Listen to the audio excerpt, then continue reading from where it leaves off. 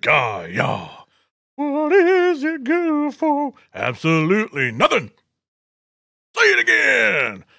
Wow! Huh. Yeah. World War II horror movies on this episode of Attack of the Killer Podcast. Good guy, yeah. Attention, planet Earth and beyond. Stay tuned for Attack of the Killer Podcast.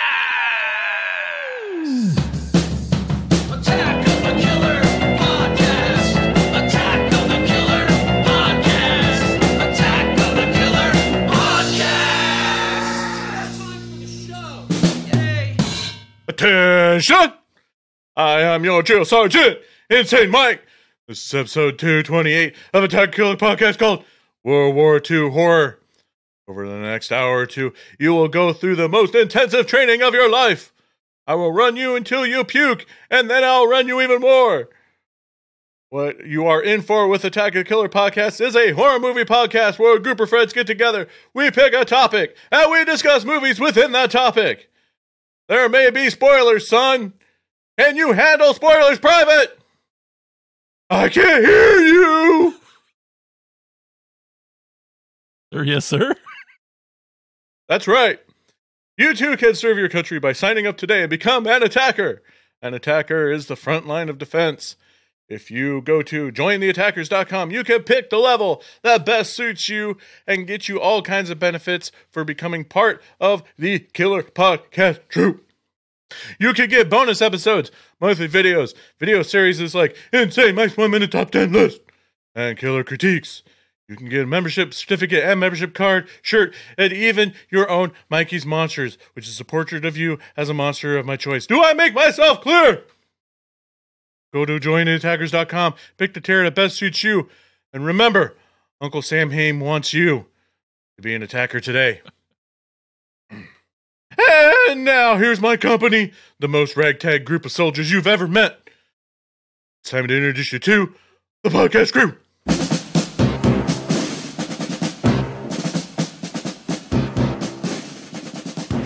He was personally responsible for 40 downed enemy planes, making him the worst mechanic we've ever seen. Sergeant Tad. Uh, sir, yes, sir. I don't know. His helmet has rear view mirrors on it. That way he could see the front line. Bomb expert Private Jason. Hey, everybody. Uh, thank you, sir. I appreciate it. I need to use the latrine. Next in our platoon, he is in charge of bringing the chips. Corporal Andy. Running jokes. I like it. Hoorah, shmoorah, semper fi. And lastly, our special guest. He was in charge of training dogs to work on submarines. He calls them subwoofers. Don Anelli.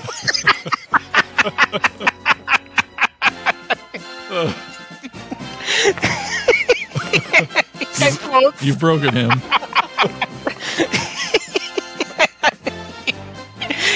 Oh, that's classic.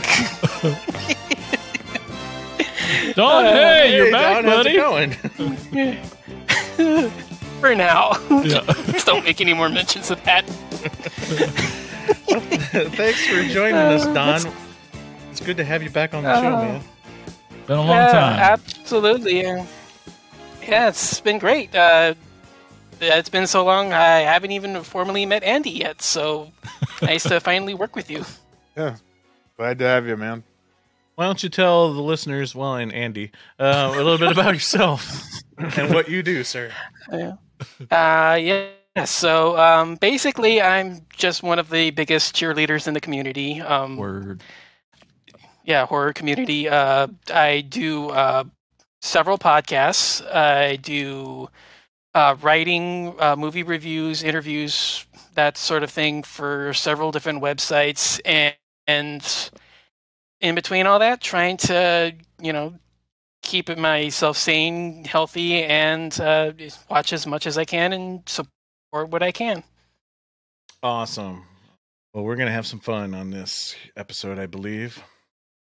Now, back in characters. Now Tad is going to lead the troop on a new secret mission that's called What We Watched. What?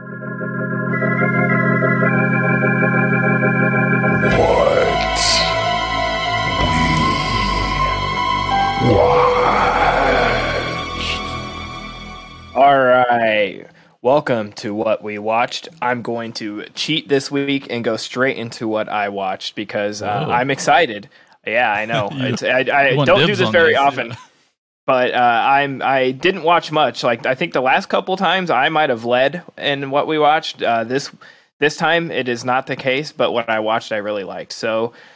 Uh, first, I will say I watched Psycho Goreman, like I assume. Mhm. Uh, I know Andy did. I know Jason did. Did you get to watch it, Mike? No, I have Did- not.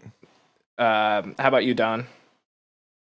Uh, it's been on my list. Um, it sh- should be one of the first things I watch as soon as I can get some time to it. Excellent. So, uh, I'm sure our listeners sort of know a little bit about it. I'm not going to spoil anything because it's so new, but uh, I freaking loved it. It was so uh, drenched in humor, but also blood and guts. It was like a kids like Power Rangers movie with uh, gore and swearing, and uh, just really weird humor. The interactions between the family members is so strange and perfectly hilarious, but I really, really loved it. I recommend checking it out. I think uh, I, I watch it for like I think it was like six bucks on Amazon Prime, but um, you can watch it through Alamo Drafthouse or Screen Lane Armor. Uh, many theaters, indie theaters, are offering uh, rentals. So uh, if you want to support one of them, do that. I just want to tell Mike, like it's basically an a new Astron-6 movie, Oh wow. Yes. basically. I mean, and It's Adam not Brooks, is really an Astron-6 movie, but it's in. right? Adam Brooks from them Oh, is in it. Yeah. The guy with the mustache, who's the lead Yeah. a lot of times, and he's okay. crazy funny. Sorry, I just wanted to. No, no, it it is. It has a connection to A them, sense of and it's humor, very too. in that uh, tone. Yeah, the really off off the wall sense of humor is absolutely there. Um, it's a movie that shouldn't work, but it does. uh, I finished the uh, Night Stalker on Netflix about uh, Richard Ramirez, which was really good. I think it was only like four or five episodes, which felt really short and sort of ended abruptly, but um, learned a lot about old Richard Ramirez. I didn't know or necessarily want to know. Uh, very It's- well done. It can though. be a tough. It can be a tough watch at some points. It's it's disturbing. And then uh, the third thing I watched was on HBO Max. It was The Little Things. Um, Mhm. What a cast on that! I uh, it's getting a lot of hate. I don't get it. Uh, Really? Maybe I just like everything, but it's getting a lot of people are saying it's boring. They didn't like the ending, or um, I thought it was awesome. Uh, Rami Malek is so fucking good in it. Uh, we got Denzel and we got Jared Leto. Uh, reminding everyone that he's awesome because I think uh, people also like to hate on him too, and it is unwarranted. That dude is a stellar actor. In this movie, he fucking kills it. So uh, I, I think I've seen some people claim that it's like a waste of their talents because they didn't like the writing. I don't know. I thought everybody uh, had such a distinct character. It just it was awesome. I loved it. Uh, check it out. It's on HBO Max and in theaters if you feel like uh, catching COVID. And that's what I watched. Uh, let's go to Andy. What have you watched?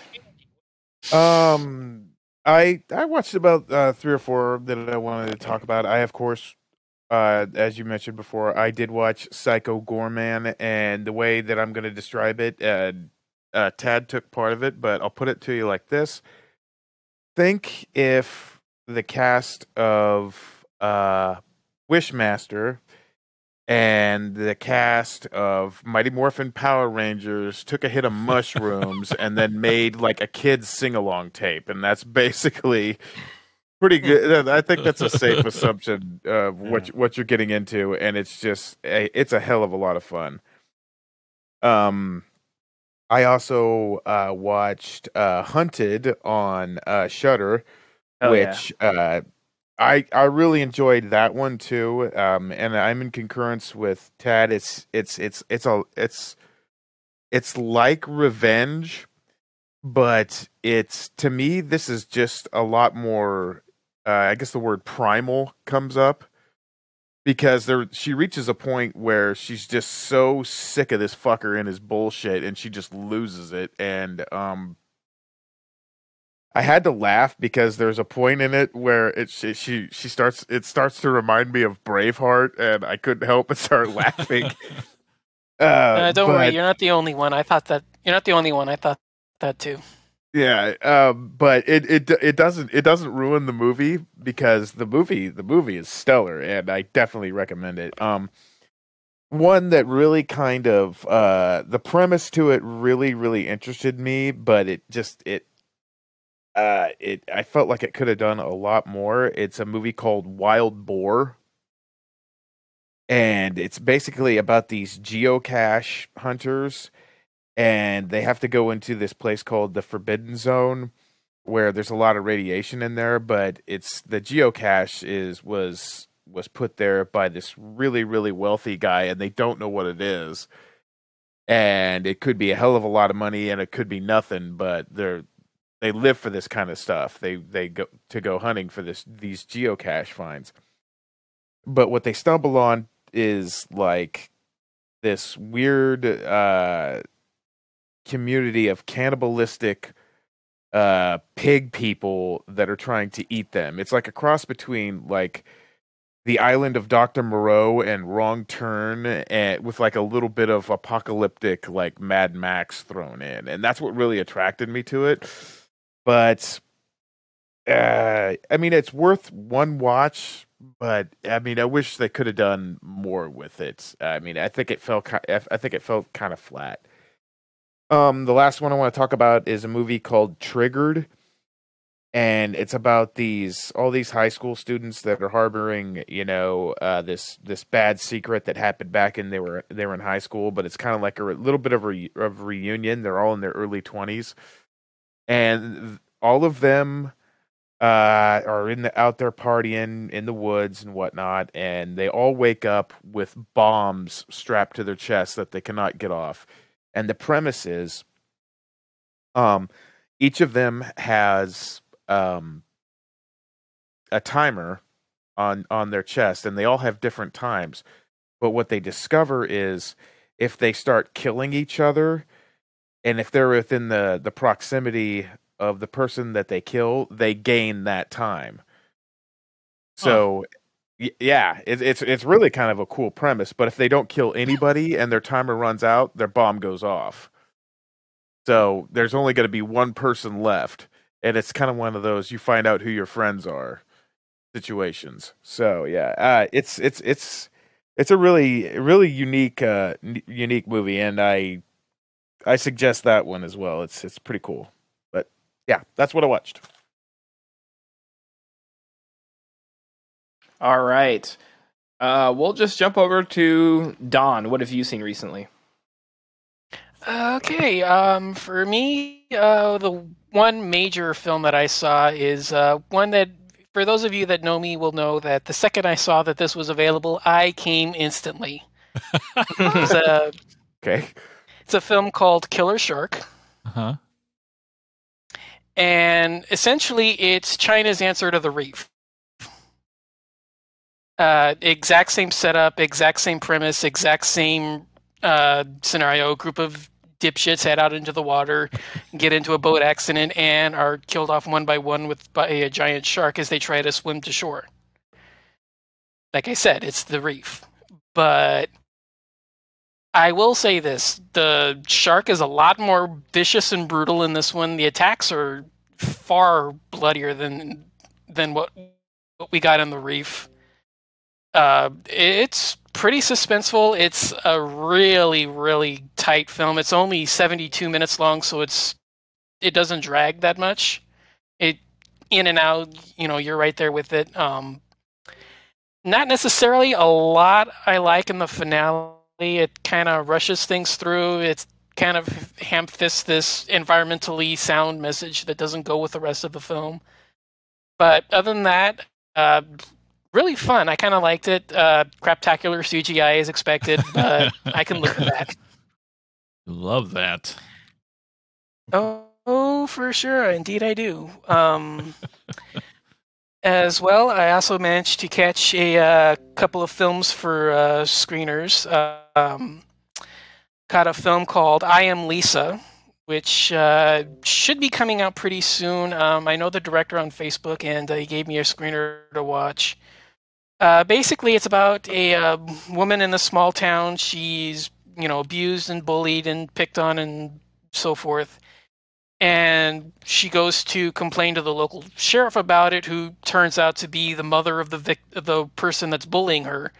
So she gets bullied and beaten down even further. She gets left in the woods and is bitten by a wolf, and somehow acquires werewolf powers. Hmm. Now she doesn't turn into a complete werewolf. She just turns into, you know, she gets crazy eyes. She gets like fangs and wolf claws, like for hands. But she goes out and she sets out to seek revenge on them one by one. So uh, it's pretty fun. Uh, don't go into this expecting anything major. There's no transformations whatsoever. Hmm. Um, but i- it's really fun. Uh, like I said, the revenge quotient for this is pretty enjoyable. Uh, some may have uh, issue with how far the bullying goes because some of it is just unrealistic to the point of getting the movie going instead of being realistic in any kind of a sense. But if you're fine with that, if you're fine with like you know fifteen to twenty thousand dollar budget, if that, because it looked a lot cheaper actually. I'm just guessing, but if you're fine with those kinds of films, you can do a lot worse than that. I had I enjoyed it and I had fun with it. The Patrick Rea film. right? And Oh yeah, from Kansas right, yeah, City. that's him. Yeah, Yep. Yeah. yeah, yeah. He, Yeah, I know um, that guy. like I said, I've, yeah, I've uh, been friends with him for a while on Facebook. Um, reviewed a couple of his films and shorts. So Nice guy. yeah, he gave I've me known the uh, cool. Yeah, um, yeah, he gave me a screener for the film. So Awesome. yeah, thanks for that. Yeah, and uh, other film I got to watch was uh, Ten Minutes to Midnight, the uh, new one with Caroline Williams. Oh yeah, that poster looks crazy awesome. Yeah. Um, so a basically, remake of the it starts. Bronson film. No, that's ten to midnight. Okay, sorry, confused me there for a second. Yeah. Um, that's actually the first time we've heard that. Um, I've actually been comparing it to the Iron Maiden song t- Two Minutes to Midnight. I actually called it that a couple times and I caught myself, but yeah. Um, so basically, Caroline plays a radio DJ who's coming into work uh, with a strange set of marks on her neck, um, basically dripping blood like crazy, but deciding you know show must go on. And come to find out, her replacement is banging her boss, who she used to have a romantic relationship with that got her the job in the first place, and things go from there. Um, I, you, any of you guys seen it? Because I don't know how spoilerific I want to get with this. I have not. I have not Nope. seen it. Uh, yeah, uh, that's the case. I'm not going to go too spoilerific with it. Um, if you want to hear a fantastic podcast with me on it, um, it is on uh, Fresh Cuts. Um, it's a sideshow for another podcast called No More Room in Hell. Um, I'll explain all that in my links later on, but uh, yeah, it, it's worth a watch. Not necessarily top 10 of the year, but you can do a lot worse than that. That's Caroline. You gotta check it out. Absolutely, and yeah. Um, for those of you wondering, uh, more than one okay, uh, more than one reference to um, stretch. So Ah. Ah.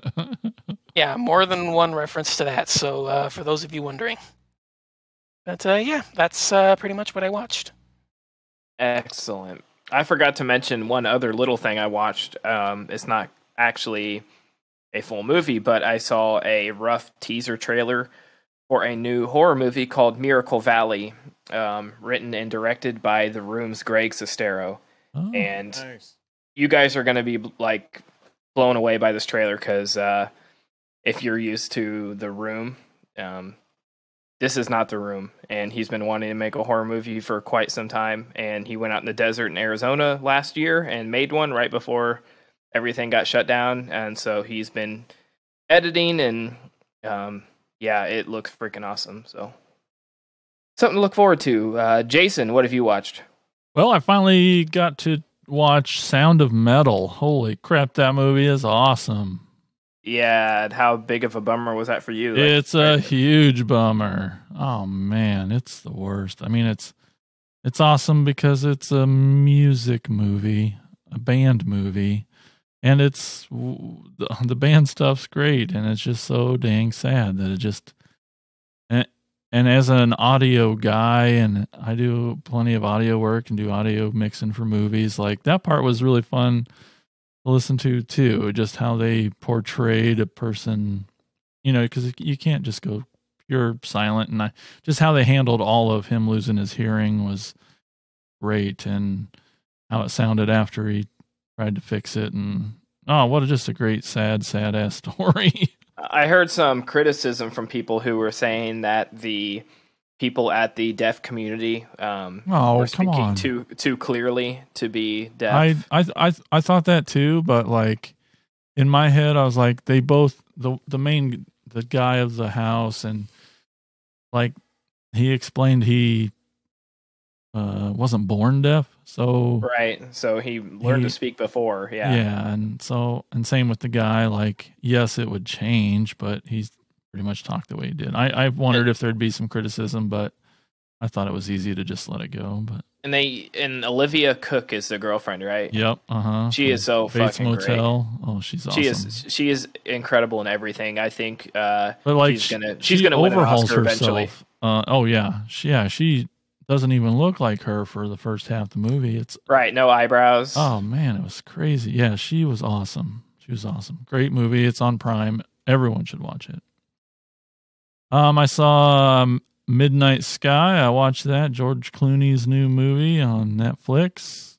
Um, it's Mike would hate it, but it's not just a slow, spacey type movie. But you might like it. It's good, but just yeah, just this lone g- scientist guy. The world is pretty much ended, and he's everyone's taken off, and they left the planet, and he's kind of left there, and some.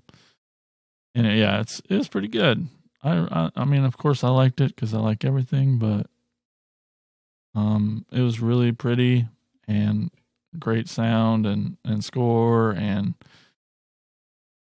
Clooney was great in it and directing and I liked it a lot. It's good.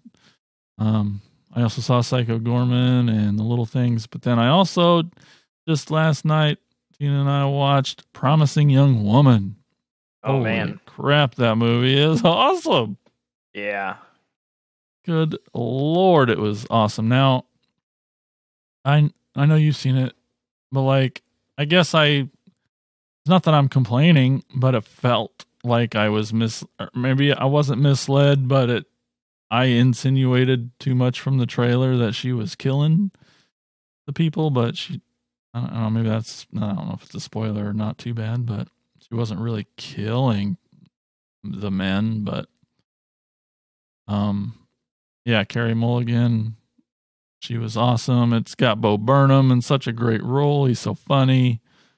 Got Mike's other girlfriend, Alison Brie, Clancy Brown. Oh man, it's so good. Definitely See, I, d- I didn't even watch trailers or read about it. I just heard that it was, you know, through the grapevine, everybody was saying uh, is really, really good, and so I avoided reading anything. Just went right into it. I didn't know it was a revenge film. I didn't know anything about it, and blew me out of the water. yeah, man, it's freaking awesome. So that's what I watched.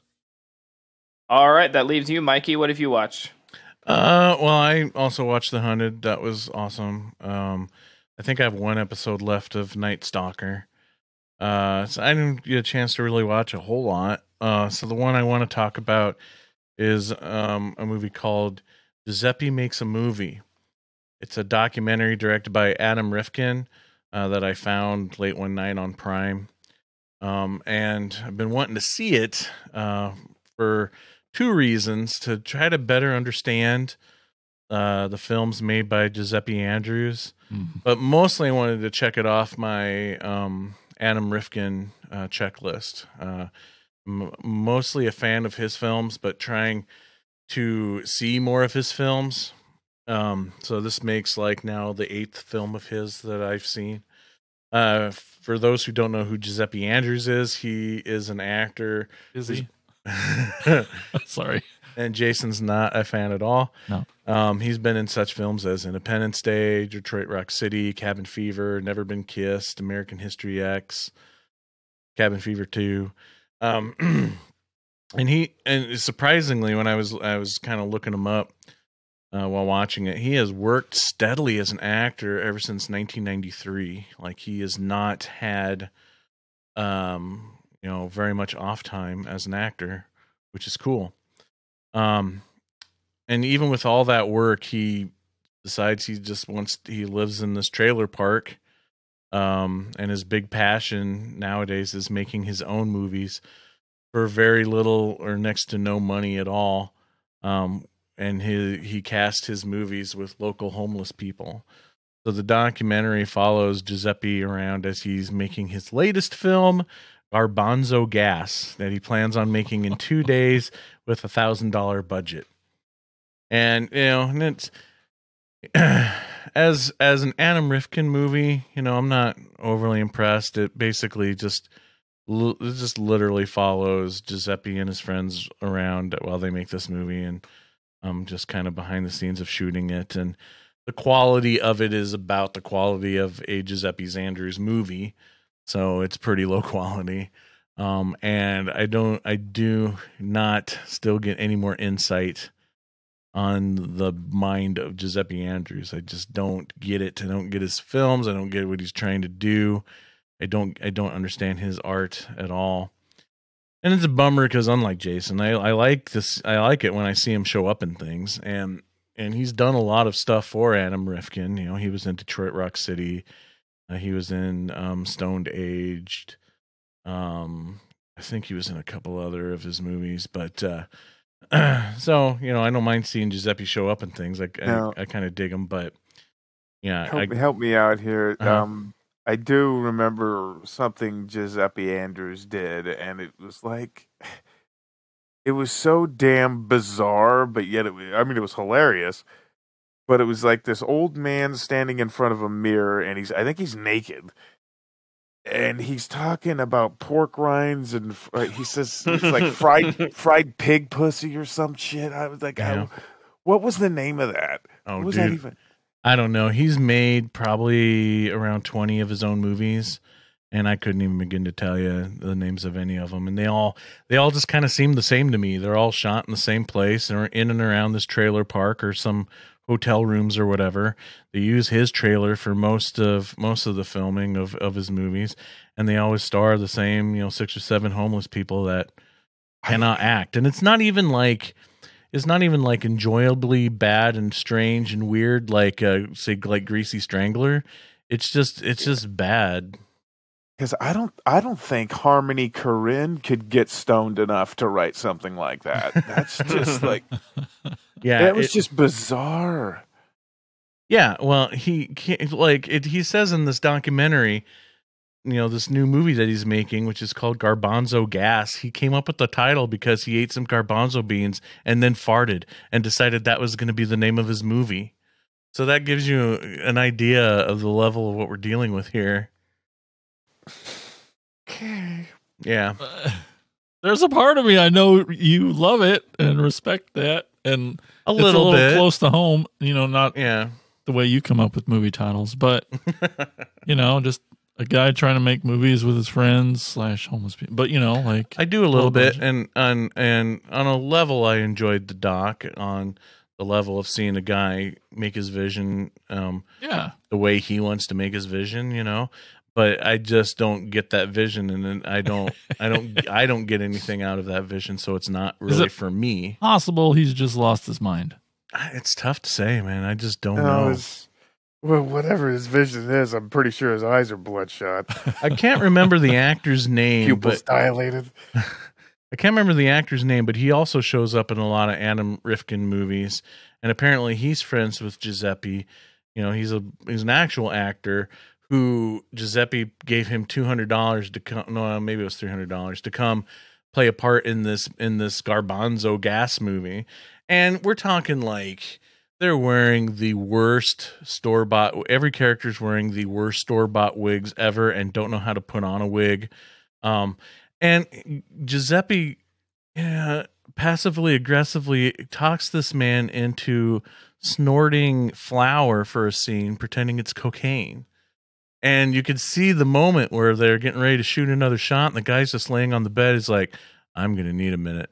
I should not have snorted that flower And yeah, it's it's just it's bizarre. It's not as gross as you think it is, Jason, because Jason and I are a little bit familiar with uh, some of Giuseppe's work because um, some of his earlier stuff he would submit to TromaDance, and we've seen some of his stuff show up on like the best of TromaDance DVDs, Oh. and Troma even put out um, one of his films, Trailer Park something, I forget the name of it, and we've watched like the trailer for it, and you know it's got scenes of like this old man having sex with his own feces, and it's just What the really sick and messed up stuff. But it doesn't. This nothing in the documentary goes to that level of grossness or anything.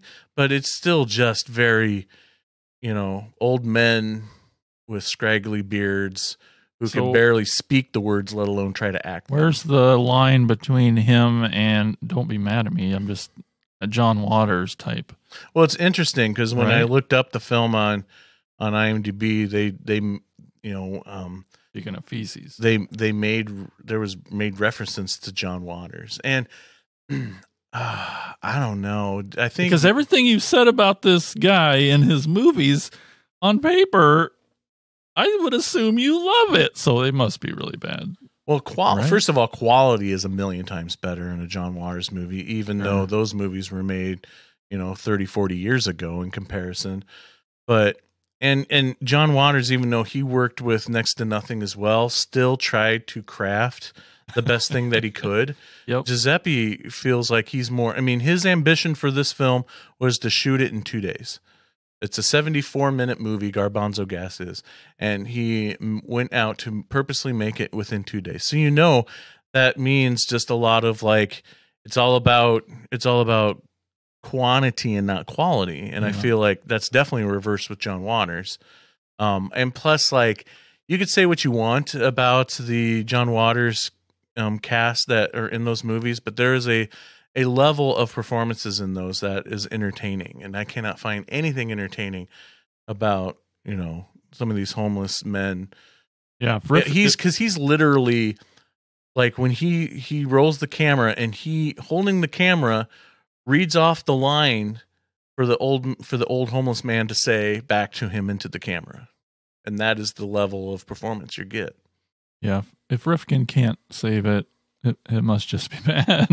Yeah, and see, and That's too this, bad. And this whole this whole experiment with me about Adam Rifkin is really, I don't know, trying to trying to get more of an eye of his vision, and if his vision falls into what I enjoy, because I love Detroit Rock City, I love the Dark Backwards. That movie's awesome. I love it. I love the chase. His segment in Chillerama was great. Um, but then he did like you know one of his earlier films was Invisible Invisible Maniac, and then he also did like Stoned Age, and I'm kind of eh on that one. Um, I like the Stoned Age. it was it was okay. I, now, it, be warned, there's two different movies called Stoned Age. Um, this one was put out by National Lampoon and it was originally called Homo erectus. But it was released on DVD as Stoned Age. So basically, it's and Adam Rifkin is the star in it, and basically he's this caveman trying to become Yeah. more evolved. I'm thinking about a completely different. movie. and probably one of my favorite movies of the past decade man has been um director's cut with uh Yeah. with penn that movie is freaking awesome so i'm i'm just i'm really i'm still trying to uh Put You your know, finger on it. i just don't want to be like oh i'm such an adam rifkin fan when i've only seen eight of his movies you know and now like three of those i'm not that not, not that fond of so yeah. But anyway that's what i watched Excellent. Uh, nice uh, slate of movies we watched. That's right. So, and speaking of movies, if you want to see some of the best in horror, you need to sign up for Shudder. Shudder is the sponsor of Attack of the Killer podcast. And if you have not gotten Shudder yet, you need to. It's the Netflix of horror. It's freaking awesome. They do a lot of really awesome, cool original content. Um, you know, they got that. I love the Creep Show series. Anything, any of the Joe Bob, Joe Bob episodes are amazing. So you need to get on Shudder. If you're still not convinced, here you go. This is a gift from us. You get a free month for free. You get a free month, and you get a free month, and you get a free month of Shudder. So uh, to to get that free month, just put in the promo code AOTKP and get your first month of Shudder for free. You're not going to regret it. You're going to become a subscriber instantly, I promise. Okay, so now, oh, gotta get back in character. Private Jason has returned with some intel that may help us win this war. And he calls that intel pole position. Now on, like your parents were, you are the secret force of pole position. All right. Hey, everybody. So, with some sweet feedback, I believe it was Brian Clark, but I just, to recap last episode's pole position, the question was then, what, you know, which serial killer do you find most interesting? And Jason and Andy tied. Oh, So, we're the winners. Uh, what were the answers? we had Jeffrey Dahmer from me and John Wayne Gacy from Andy. Where did, where was I? You and Tad tied for second. Oh, okay. Yep. But For last. like Or last. if you're not first, you're last. That's right. Ed, Ed, Ed Gein Gein and Albert should have been number one. Well, you know, if you'd figure your Twitter out, you could have went and voted and got yourself up a little higher. But that was last week. So um this week, this episode, the question is, what's your favorite war horror movie? And Insane Mike, you're first. I'm gonna go with Dog Soldiers, one of the not only one of the best war horror movies ever, but probably one of the best werewolf movies ever. It's true. Never Yeah. seen it. Oh, Ted, Really? let's Oh, get nice. on the show. I've owned it for about ten years, but never seen it. It's damn good. There's a there's a uh, first time episode. Yep. Yeah. All right, I'll go next. Uh, my favorite, and it always has been. I've loved this movie since it came out because it got me and it fucked me up hard. And it's Jacob's Ladder. Ooh, yeah, that is a really good pick. I Man. kind of forgot about that What a mind fuck that movie was. I love it. Tim Robbins, man, it's good. Did they ever come out with that remake? That came out, right? Yes, it did. Yep. And I Mhm. have not. Yeah, I saw it. when it, I saw it when it came out. Any good? Did you like it, Don? That silence should speak volumes. Okay, got it. I Uh, didn't know if you cut out what or that was okay. No, yeah, that was uh, had the crickets purposeful. in. Yep. Okay. He was taught if That you don't have anything nice to say, don't say anything That's at all. right. That's right. That's where you need to put the crickets chirping. Got it. Oh, Dang it. I was late. Missed it. All right, Ted, you're next. Um, I don't know. I guess this counts, but uh, I had sort of a hard time picking one because I'm looking through this list, and I sort of like the ones on our episode coming up. But Yeah. I went with Predator. Ooh, it's It's a good weird one. that Andy didn't pick that one. Yeah, yeah. I I figured that that's more of like a con- it has something to do with like a conv- conflict and not like an actual war. But I But yeah, it know. shows up on a lot of lists. And that's a good one. And Andy, what's your pick then? My pick is, and it almost isn't a war movie per se, but because it it's it has reanimated soldiers that come back, and so it doesn't take place during the war. But screw it, I'm saying it anyway. It's Dead Dead Snow. Yeah. Can't go wrong with some uh, Nazi zombies. I'll be honest, I like part two better, but that's just me. Yeah. Part two, mm-hmm. yeah, I might agree with that. It's I mean, it's a it was a little too slapsticky for me. I kind of like the first one a little bit better. I wish they'd do a third because I feel like Dead Yeah. Snow was was like the Evil Dead of Nazi zombie movies, and then Yeah, Dead Snow kinda. Two was the Evil Dead Two Yep. of Nazi zombie movies. So we need the Army a of Darkness. Nazi zombie movies. Well, those are all some really good picks. Don, I'm afraid that Twitter only lets us have four choices, but if you got to pick, what would your favorite war horror movie be? Well, considering it's number 11 on my all time genre list, I would say Dog Soldiers. Yeah. But So there's a vote for me already. yeah. yeah, um, if I were to nominate a new choice, um, I would say The Keep. Key. Oh, Oh. yeah, okay. Uh, Ian McKellen. Uh, hmm now, if they made Werewolf Women of the SS, that might really actually change my That- whole pick here. that would definitely uh, that would definitely alter things. Yes, That brings up a that, that, I will agree. That definitely alters things. that brings up a small discussion we don't have time for. But like, do do like the Nazi exploitation movies fall into horror, like Ilsa movies and stuff like that. Hell Camp of the SS. I cover them on my site because I specifically labeled it horror and exploitation. yeah. Um, I consider it close enough to be a genre worth looking at, but am totally comfortable if people are unwilling to cross the the boundary into that subject matter. So Sure. Yeah. That's how I feel But too. would that Yeah. disqualify Harem Keeper of the Oil Sheiks? Would the sequel count? Well, anyway, that's uh pole position for today. Get your butts over to Twitter at AOTKP. Get your Twitters working and get your votes in For dog soldiers. or whatever you want to pick. But dog soldiers, so Mike can actually win one of these. But That would anyway, be about time. that's uh pole position. All right, so now we need to finally get into the topic at hand. So yeah, um, I think to go along with pole position, it's kind of tough to. There isn't like a ton of war-related horror movies. I think probably because the topic of war is horrific enough. You know, to throw in another horror element almost Yeah, doesn't any seem like it would work. any war movie is a horror movie. Yeah. Kinda, right? So mm, Kind I mean, yeah.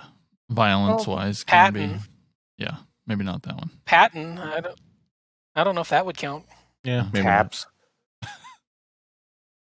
Taps. Anyways, And So yes. Chad, what's our first movie tonight? our first movie is Overlord.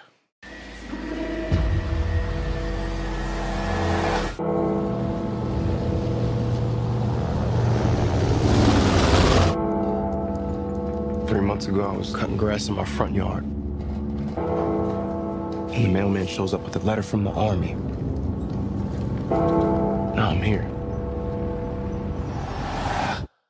No idea where I'm gonna end up.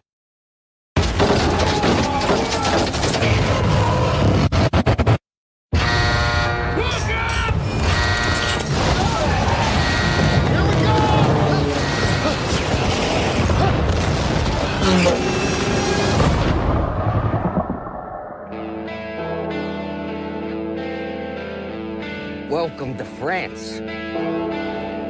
What happened here? Some questions don't have good answers.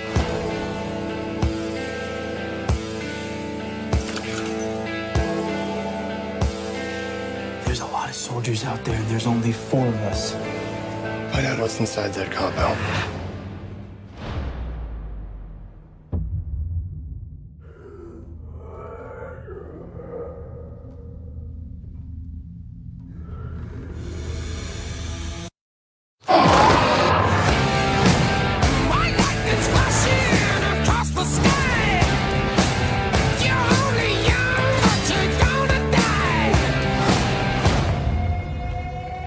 Is this?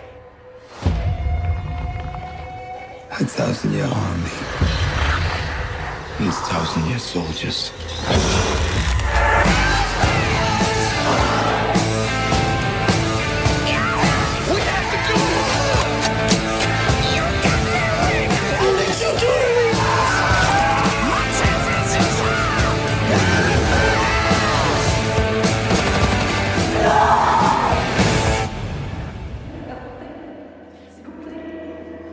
What's behind that wall? What do you do with those people?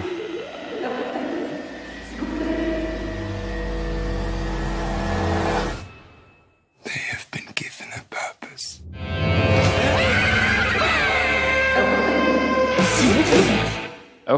Overlord, release November 9th, 2018 here in the US, directed by Julius Avery. Um, this one is freaking awesome. I saw it in theaters. Uh, I'll go over a brief synopsis. A small group of American soldiers uh, find horror behind enemy lines on the eve of D Day. So basically, the soldiers are flying in a plane. The Nazis shoot them down and kill most of the uh, paratroopers and there's four of them left. They take refuge in a French woman's house who is helping them uh, sort of hide out until they can get in and destroy a radio tower built uh, in a castle in an old French town. Uh, so they have to figure out a way in, and when they do, they discover there's a lot more shit going on, including reanimating corpses and keeping um, corpses alive. Yeah, this one, like I said, I, I got to see it in theaters. Uh, the trailers, if you haven't seen this one, guys, don't even try watching that trailer. Uh, I think the whatever ACDC or whatever plays in it is a horrible choice because this movie's so much better than that and deserves Yeah. so much better than ACDC. Um, just the opening, like 15 minutes, holy fuck. Is there a better Oh opening to a Yeah. movie? right. The And whole sequence just Oh. my goodness. yeah, when I got my new TV, this was the first movie I put on because I wanted to see it with like the surround sound and uh, in 4K. And holy shit, man! Like the sound, the visuals. This movie just yeah kicks off uh, right in the balls. Like just man, uh, pedal to the floor, no stopping, and it's this so movie just tense. Right. Yeah, you're way, yeah, you're yeah, way man. lucky for getting to see this in the theater because that had to have been intense as hell, and uh, that whole, especially when he's like falling from the sky, that would have been yarking Yeah, and Going ass over elbows, just all the way down. Just Yeah, this one's awesome. What do you guys think? I love this damn movie. Uh, this, I mean, i i love the, I love the characters because uh, anytime I can see bits and pieces of myself in every one of the characters, just, just traits, you know, because I was, I was looking at it, I was just like, in time, in time of war, if I was there, I would totally want to be like Ford because that's the guy that you know is going to get out alive humanitarian wise, I would want to be like Boyce, but and then as I'm looking back in reality, I got a feeling that I'd probably be more like Tibbets, you know, just very very cynical. I mean, I would do what need to be done, but you know, I wouldn't, you know, want that kid around me. I wouldn't want any of that shit. But I mean, when push comes to shove, I try to do the right try to do the right thing. You know, I thought you were just Um, trying to compare yourself to a Russell because we got Wyatt Russell in here, and obviously get a Uh-huh. lot of uh, Kurt Russell vibes from him. Oh yeah, um, he's you know I think they they were considering casting him in the remake of Escape from New York, weren't they? Whoa. I think fans wanted it, but I don't think he was ever Oh. considered. But he's fantastic. and- Yeah, I think Oh. that was I think that was the rumor was that it was just a fan thing. Oh, um, just the and and the effects. You know, it's just like it's such great stuff. And like I said, it's it's always tense. You know, because they're always on the, whether they're in the complex that they're trying to bring down, or whether in the, when they're in the French woman's house. There's always so much tension there because they're just on the. It could be a millisecond and they're caught, and um, yeah, Chloe. It- Chloe's badass too. Oh yeah, Yeah. she's awesome. Um, and you know that chick with that chick with the flamethrower. Yeah, yeah, Chloe with the flamethrower, awesome. Um, the effects in the uh in the complex and just you know Chase saying his head hurts and then he just headbutts that Oh. freaking se- that beam and just cracks it. Just like Jesus. Um. Yes, folks, watch this movie. Watch this goddamn movie. It's good. What I love about it is that they play it straight. There's, I mean, it obviously has a crazy, fantastical ending, but like for all intents and purposes, it's a straight on war movie that you're trying to figure out and get to the end of, and it, and then it's just gory as hell. Just every damn kill and thing is, it's fucking crazy. so intense. Yeah, like a sim- one simple head gunshot is like a massive spray of Oh. blood, but not like a geyser spray. You know, it's like a this like huge misty spray of blood, which you would imagine what it would look like.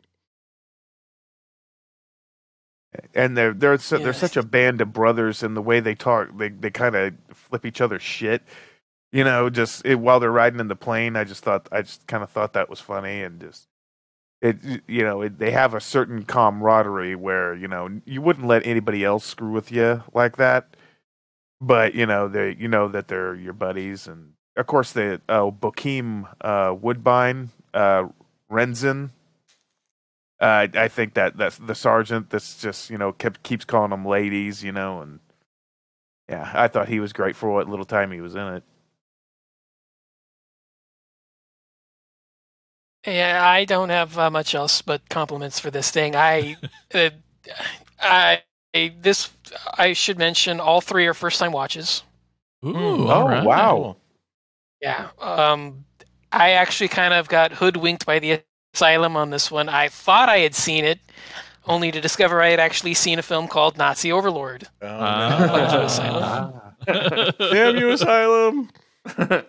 I'm usually better at that, but yeah, they got me on that one f- for once. Um, I have nothing but compliments for this. I'm completely on board with you guys. Um, perhaps a bit lighter on the horror than I anticipated. I figured the mutants and the uh, Yeah. I figured those would be a little bit more prominent in the film. But I'm totally on board with the action war throughout here. Um, like you said, the Brotherhood is completely believable, engaging, and I absolutely loved all four of them. They're just a completely enjoyable group to be around, and that definitely helps.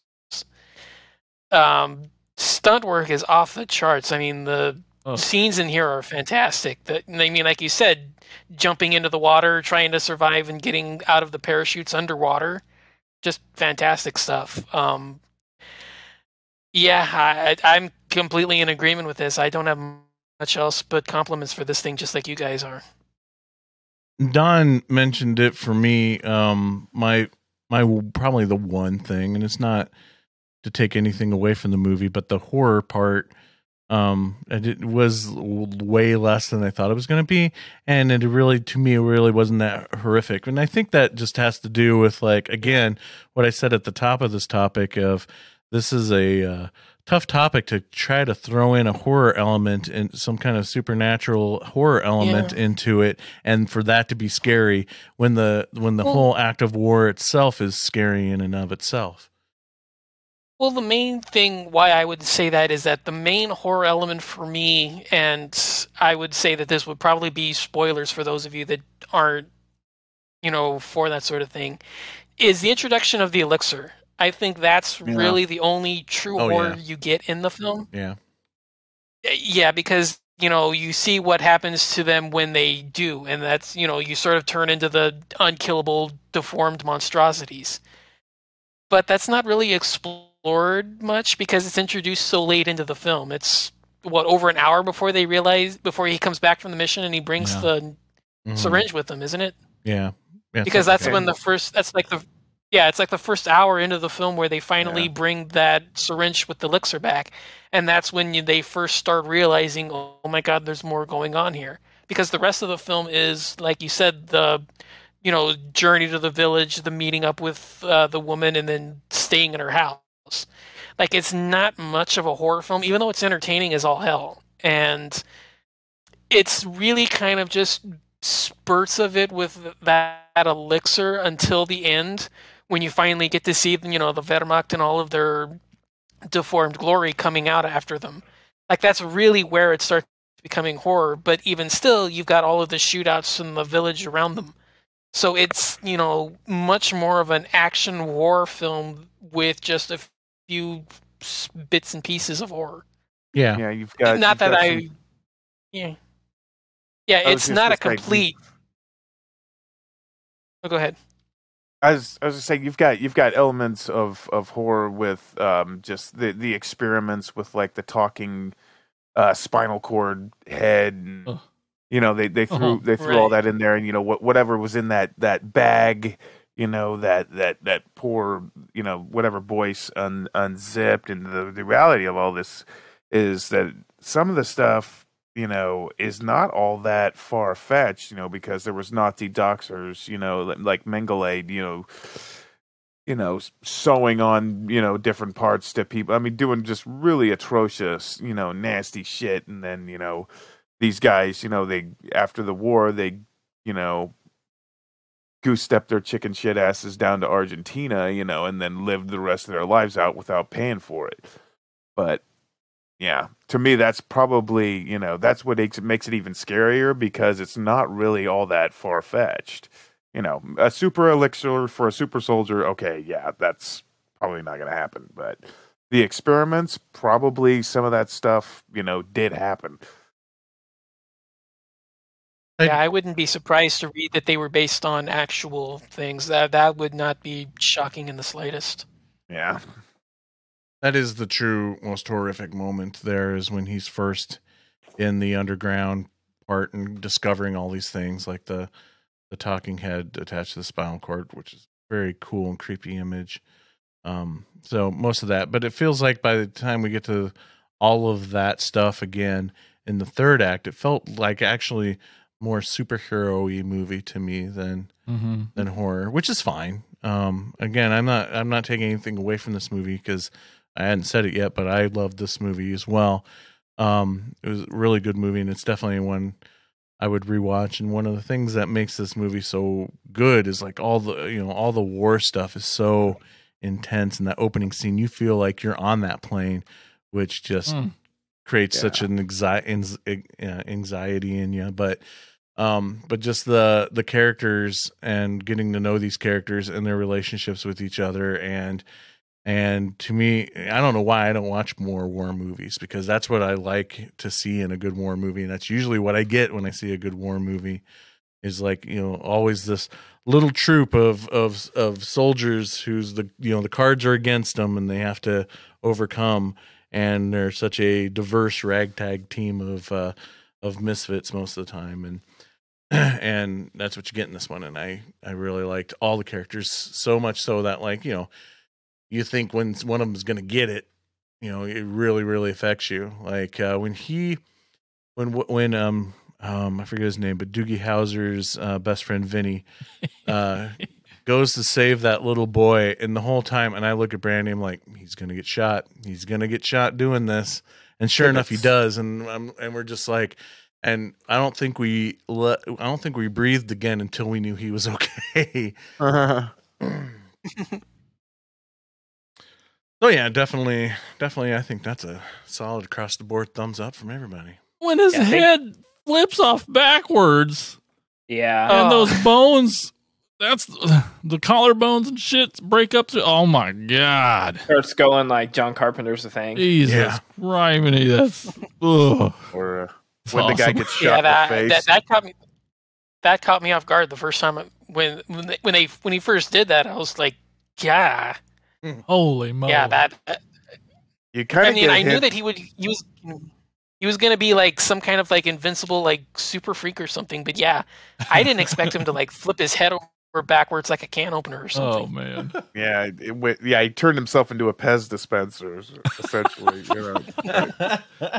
Uh, but you kind of get a hint as like the, something's rotten in Denmark when he takes that canteen and like you know crushes it like a pop can. Yeah, good movie. Where he down the whole thing in one gulp. yeah, I'm thirsty. Yeah. awesome. So great, Andy. What's our next movie? Our next movie comes from 2020, and it is Ghosts of War. The outpost is 30 miles over those hills. Let's move out. Who we babysitting this time? Not a who, a mansion. Yowza, yowza, yowza. Speaking of my whole neighborhood in Queens. Supposed to be a big deal when the 82nd Airborne came through and pushed out the Nazi high command. This is a life, boys. You hear that?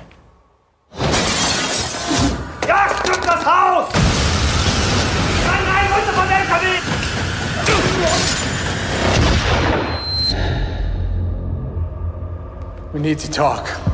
We stay here, we're fish in a barrel. We're staying. What's that? I found it in the basement. Belonged to one of the Nazis who took over the house. It Says where the fam lived here.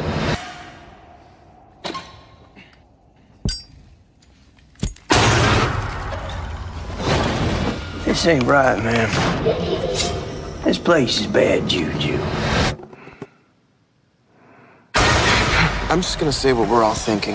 This place is haunted. Everything we experience, it's what the Nazis did to the family that lived here. Let's get out of this house. If you leave.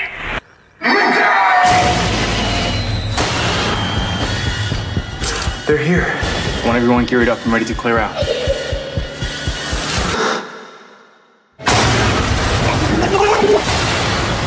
You can't leave. It won't let us leave. This isn't real. This isn't real. This isn't real. This isn't real. This isn't real.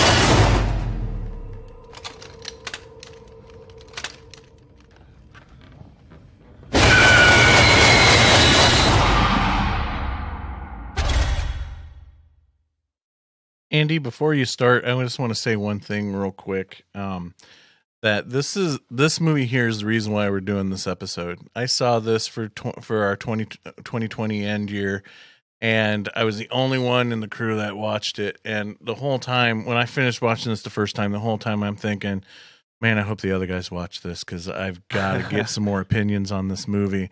And so you guys didn't, so I'm like, screw it, I'm gonna make you guys watch it for an episode. but go ahead, take it away, Andy. Um, okay, the dirty half dozen meets Amityville horror. um yeah, this was uh this actually really kind of pleasantly surprised me. Um it's a obviously a war movie, but it's got a little bit of a twist that I just I don't really want to tell because I think other people sh- should watch it. But see normally when they they give it's kind of like a tired old technique this M Night Shyamalan fucking uh Bruce Willis is a ghost type bullshit that just makes me want to hit somebody with a brick every time they do it in a movie. Um but this was this twist was crafted enough at least from my perspective that it just it didn't aggravate me. Um I just I thought it was I thought it was unique enough that it just it didn't seem you know cheap to me um basically um and i'll finally get into what the hell this thing's about um it's basically you've got five uh battle worn um allied soldiers and they're guarding this french chateau that was previously occupied by the nazis and they start experiencing unexplained and terrifying you know just supernatural ghost like stuff and they need to hold it there. Uh, they need to stay there until their relief takes over. Um, when they get there, uh, all these other soldiers they're ready. They're ready to clear out. There's just like we do not want to be here. You know, here take our you know our our com link or whatever the hell that backpack thing is. Uh, you know to order in you know other military stuff. I'm sorry. Um, but th- it's this once they get there just a lot of crazy shit happens but uh i i do like the characters. I mean uh that they're similar to like you know our guys in overlord. They've got good rapport you know they they they have this you know this really tight unit that you know look out for each other. Um and they're of course you know they're engaging in nazis before they get there. The the scene with the jeep i really love that you know because they they set up a landmine and you know Mhm. uh, they get into fistfights with billy zane which is which is sweet and then they shoot him in the head which was unexpected um but all this all this stuff that happens uh in the house, you know, just you know, uh, some of it is a little bit uh, tropey when it comes, you know, ooh, I found a diary. Um, but you know, they do need a mechanism, to, you know, to help them, you know, f- figure out what what the hell's you know going on. It's got a lot of good jump scares in it that I think, like when uh, uh Tappert, uh, Kyle Gall- Gallner, um, you may remember him from the remake of Nightmare on Elm Street, and I think I saw him in a little bit of The Walking Dead. But uh, he's also in The Cleansing Hour. If you guys haven't seen that, Oh yeah. um, when that's when he's looking through his scope and everything's calm, and you know you got you got all that jump scares. There's there's a scene in the library where the soldiers are just fighting off all the ghosts that are just that's just crazy.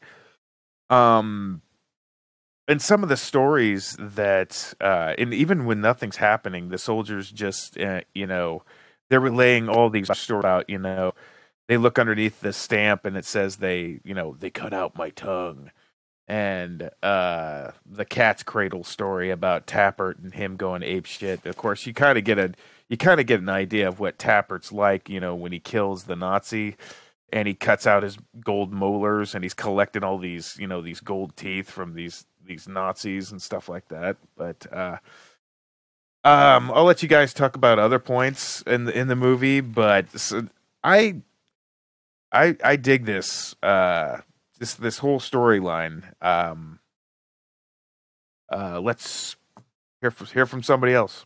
Well, you you brought up what they did to the Nazis at the Jeep, and he you know pulled out the teeth and and took the coats and stuff, and like it comes off as an extremely extremely cruel Yeah. and inhumane thing to do. But then he turn turns that around when they find the uh, the you know refugees trying to escape, and he gives the coat and the and the gold to this woman and and and his child and her child.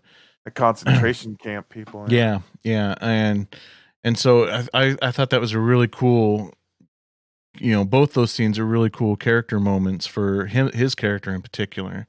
That you know, on the surface, he is this like insane man with you know no remorse for what he's doing and just and cruel as hell. But deep down, he's got like a real sense of humanity to him. I also, uh, since I usually do the line of the film, actually, it's Tappert who has the line of the film for me. Um, he's got two really great moments, but his line of the film, "If we're dead, heaven fucking sucks," and um, when he's asking him, uh, he's asking Eugene about the book, and he's going into this, and Eugene goes into this long diatribe about, you know, blah blah blah, Crab Nebula, all this and all this other horse shit, and then Tapper just looks at him, and he just goes, "You could have just said no." yeah, yeah, he had some of the best. Uh, he was my favorite character in this Uh, movie. yeah, mine too. far, and I loved his mustache.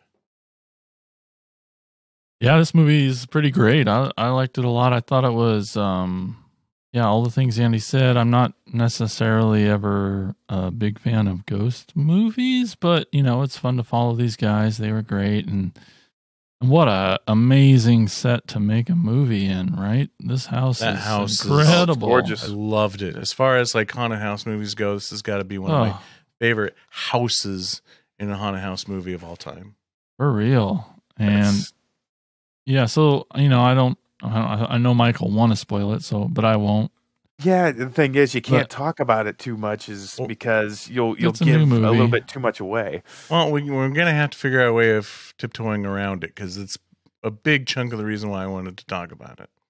I was just I wanted to say well I can reference it I just don't I won't say it but so obviously in in the third act of this movie it takes an incredible uh change uh, it goes in a different direction of it's a whole different kind of movie than we just spent the hour the last hour and a half in.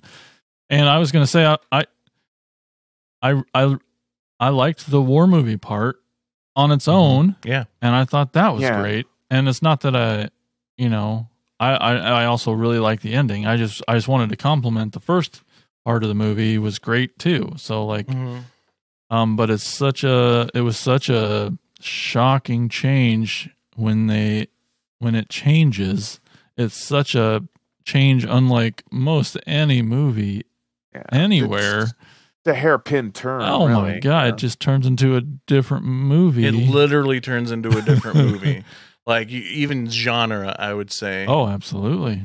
And Yeah. but it's it's jolting at first and it takes a minute to figure out what the hell's going on or why, but uh, like Andy said first thing, like it made me like the writing of the whole thing because it was I thought they explained it really well and why it was happening and All the was- clues are there. All the clues are there. It was very interesting the writing of how they pulled that off. It's a th- that's just the thing. It's like it's a movie that I feel like you need to watch a second time Yeah. in order to in order to find more things within the first part of the film that will reference what you'll then you'll get like what they're referencing later and it's it's yeah it's it's kind of like a total recall like when i first saw total recall i liked it but i was just like uh, wait a minute is i need to uh i need to go back and you know watch of course i was 10 but um I need to go back and you know and rewatch it, and then I'll understand it a little bit better. But um, yeah, there's and there's a great scene where a German soldier looks like he's drowning, and I think Theo Rossi he just kind of he's kind of stands there. He's like, and like this invisible force is holding him down in the water, and you hear like these girls giggling, and I'm just like, whoa. and yeah, a lot, a lot of great stuff, a lot of great stuff in this.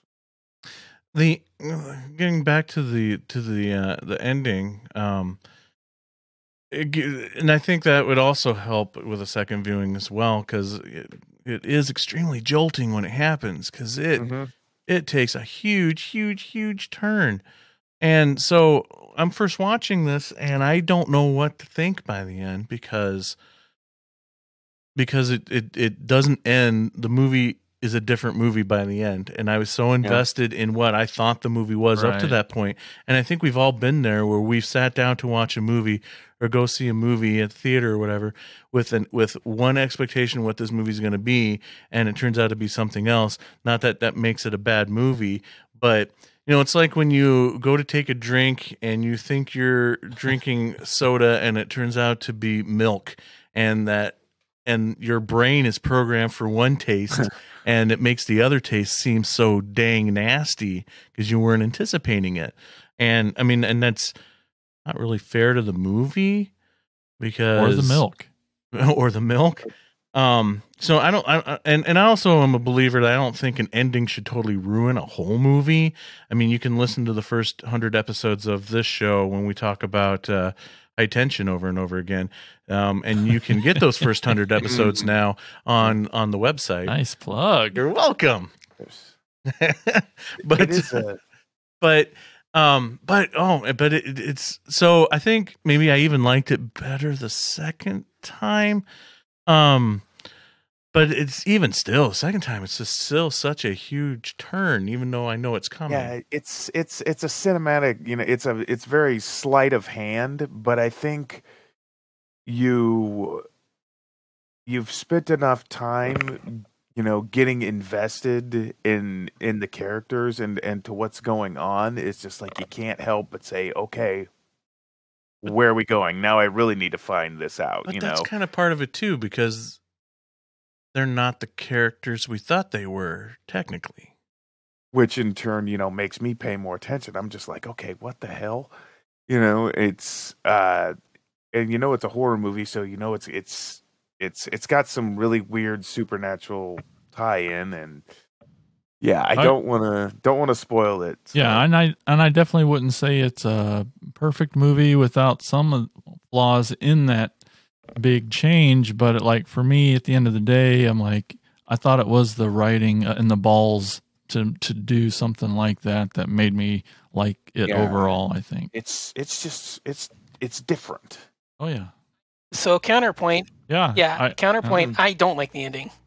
I it take it took it completely takes me out of it. Um, for the first two thirds of this, before that, uh, this is my favorite of the three. Actually, um, everything about this works Good. for me. All the ghost action worked. I love the war elements. I love the action, the build up, the mystery, all the different clues coming together. To me, this was actually I like this more than Overlord to an extent.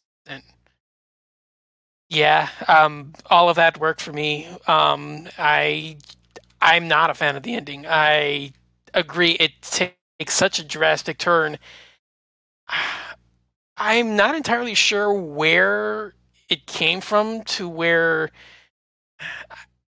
uh, like you said, I'm trying not to spoil it, but yeah, uh, I, I'm trying to see where where the idea came from in the storyline sense. They mention they mentioned where it you know what they're trying to do and what it's trying to accomplish, but I don't see it. I don't see the rationale for how the ending comes in and uh, it's really killing me not to go deeper into spoilers. i think you're actually selling it more now so Yeah. I was just gonna say I agreed with Jason in that I appreciate um, the risks that they took, and I am not a war movie guy, and I am not a ghost movie guy, and combining the two um, was not my thing. But I appreciate it for what it is. It's cool to see Skylar Astin in a movie where he's not like a pretty boy or a douchebag singing, because uh, he's just sort of like he's like the pitch perfect guy, and it's like I don't know, just seeing him outside of that role was nice because I think he's actually a pretty decent actor. But I also have to agree with Don that the twist took me out of the movie and it's just sort of I don't know. I just jump scares and stuff like it just it, it hit on a lot of things I don't love in movies, uh, but I can appreciate what they were trying to do. It's just not my thing. For me, I mean, I'm also in agreement that the first half of the movie, I, I freaking loved it, and this and this is why it made the whole, you know, the, the second half left me so complex. But because I am a, I'm a, you know, I'm a comic book fan, big comic book fan, and I'm, I'm a, I'm a guy who became a comic book fan as a child in the, uh, in the '70s. So I remember reading a lot of like war comics, like GI Combat, uh, Sergeant Rock and his Easy Company, um, and then a lot of horror comics too, like House of Mystery. And this movie, I mean, and it even had visual elements of it throughout the movie, and both the war stuff and the horror stuff that just read comic book to me, that come off as comic booky to me. So this totally invoked those memories of reading those war comics without actually having to do any reading. So that was great. Um, so when the when the twist happens, I I was like, ah, because I was so loving what I was getting up to that point. But again, it's not you know it's not not a bad twist. I think I thought. I mean, I totally get how it could take you out because it does take you out because that literally, it literally does. does. And it's not that it undoes everything that you just Yeah. saw, you know. I mean, it, but you know, I, I get it. Right. I mean, for me, well, I mean, for me, it's like what I said. There's one line in the and there's one line in all of the dialogue that just kind of throws me in. It's about the intent behind what they're trying to do, and uh, trying to apply that to what happens in the rest of the movie. That uh, to me, I just I don't see any kind of a connection. Yeah, no, I think I know what you, I think I may know exactly what line you're talking about. Um, because I think it feels like the dialogue is a little forced in Yeah, that moment. 'cause, I mean, and I think know- it's probably because we have a whole other movie going on that we're only getting you know like ten minutes of. So I feel like maybe you know there was some over exposition in a matter of two minutes, kind of thing. Right. Um, I, there's other films that have done that as well, so it's not just this. Um, in theory, I don't mind the idea of what's going on. Um, I've actually, I've actually liked other films that have done this in the past. But yeah, there's just one line about what everything, about what what they're trying to do, and how the twist comes into play. It just it doesn't really settle for me, and that's that to me that's the one issue that bogs this down for me because otherwise i actually like this more than overlord Yeah, I mean both of these So- movies, the the World War II stuff is so solid Mhm. that you don't even need the rest of the horror stuff to still come out with a great movie. So, but I just this the next part Mm-hmm. that I'm going to bring up is going to be super tough, but I just I want to know thoughts on the very very very very end of the movie. Is it felt extremely abrupt to I mm. I came to one of one of a couple one of a couple conclusions that Yeah. one is this a part one to a two part story we're supposed to get? Because that's how it felt. Or two is this an endless loop? Endless loop. Oh is that how you took it? Absolutely. Oh I took i can i can I, I can i can be happy with that yeah. To me, it was a loop.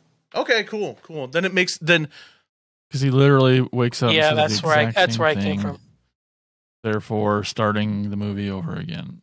great Right. cool and i wasn't sure even after yeah. watching it twice now i wasn't sure if he said that in the beginning or not Yep. okay cool Yep. i'm then i'm fine with that that's great i like that answer Which makes the um, abrupt. the well, which makes the curse of you know a real thing. Yeah. You know, so Yeah. even though it's weird, that yeah, And I think now I'm glad everybody's on that page. Well, Tad, did you think that too? Because I didn't hear from you on that one. Did you think that too? Yeah, that's that's what I the conclusion I drew. Also, Okay, okay, great. Then I think I went from being where the very end of the movie I didn't like to being like I think that might be my favorite part now. yeah, Just because like I just I love that idea of just yeah. this is now an Hmm. infinite movie. Yep. It's definitely uh yeah. I'm glad I'm shocked that you watched it in the first place. I don't know if you don't would know. have picked it if it wasn't on the Yeah, 20 probably not. Probably wouldn't have picked it if it wasn't so on it's the cool that you did and it's definitely a movie that gets you talking. Gosh. Yeah, yeah, definitely. And I think at the end of the day, that's I think the biggest victory for me in this movie is that it definitely invoked some conversation. In a year or so we'll finally talk about the ending. yeah. okay. Everybody go see it so we can talk about the ending. Yeah, it's on Netflix. Right. Okay, so Jason, what's the last movie of discussion? Oh my gosh, it's one of the coolest movies ever. It's Yeah, from You're welcome for getting time. Uh huh. It's from 2006. Guillermo del Toro's masterpiece, Pan's Labyrinth.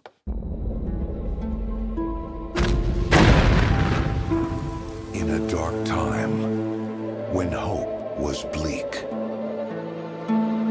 there lived a young girl whose only escape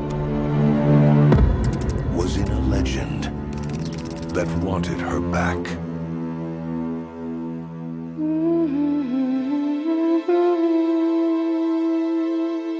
The legend speaks of the lost soul of a princess from another world who will one day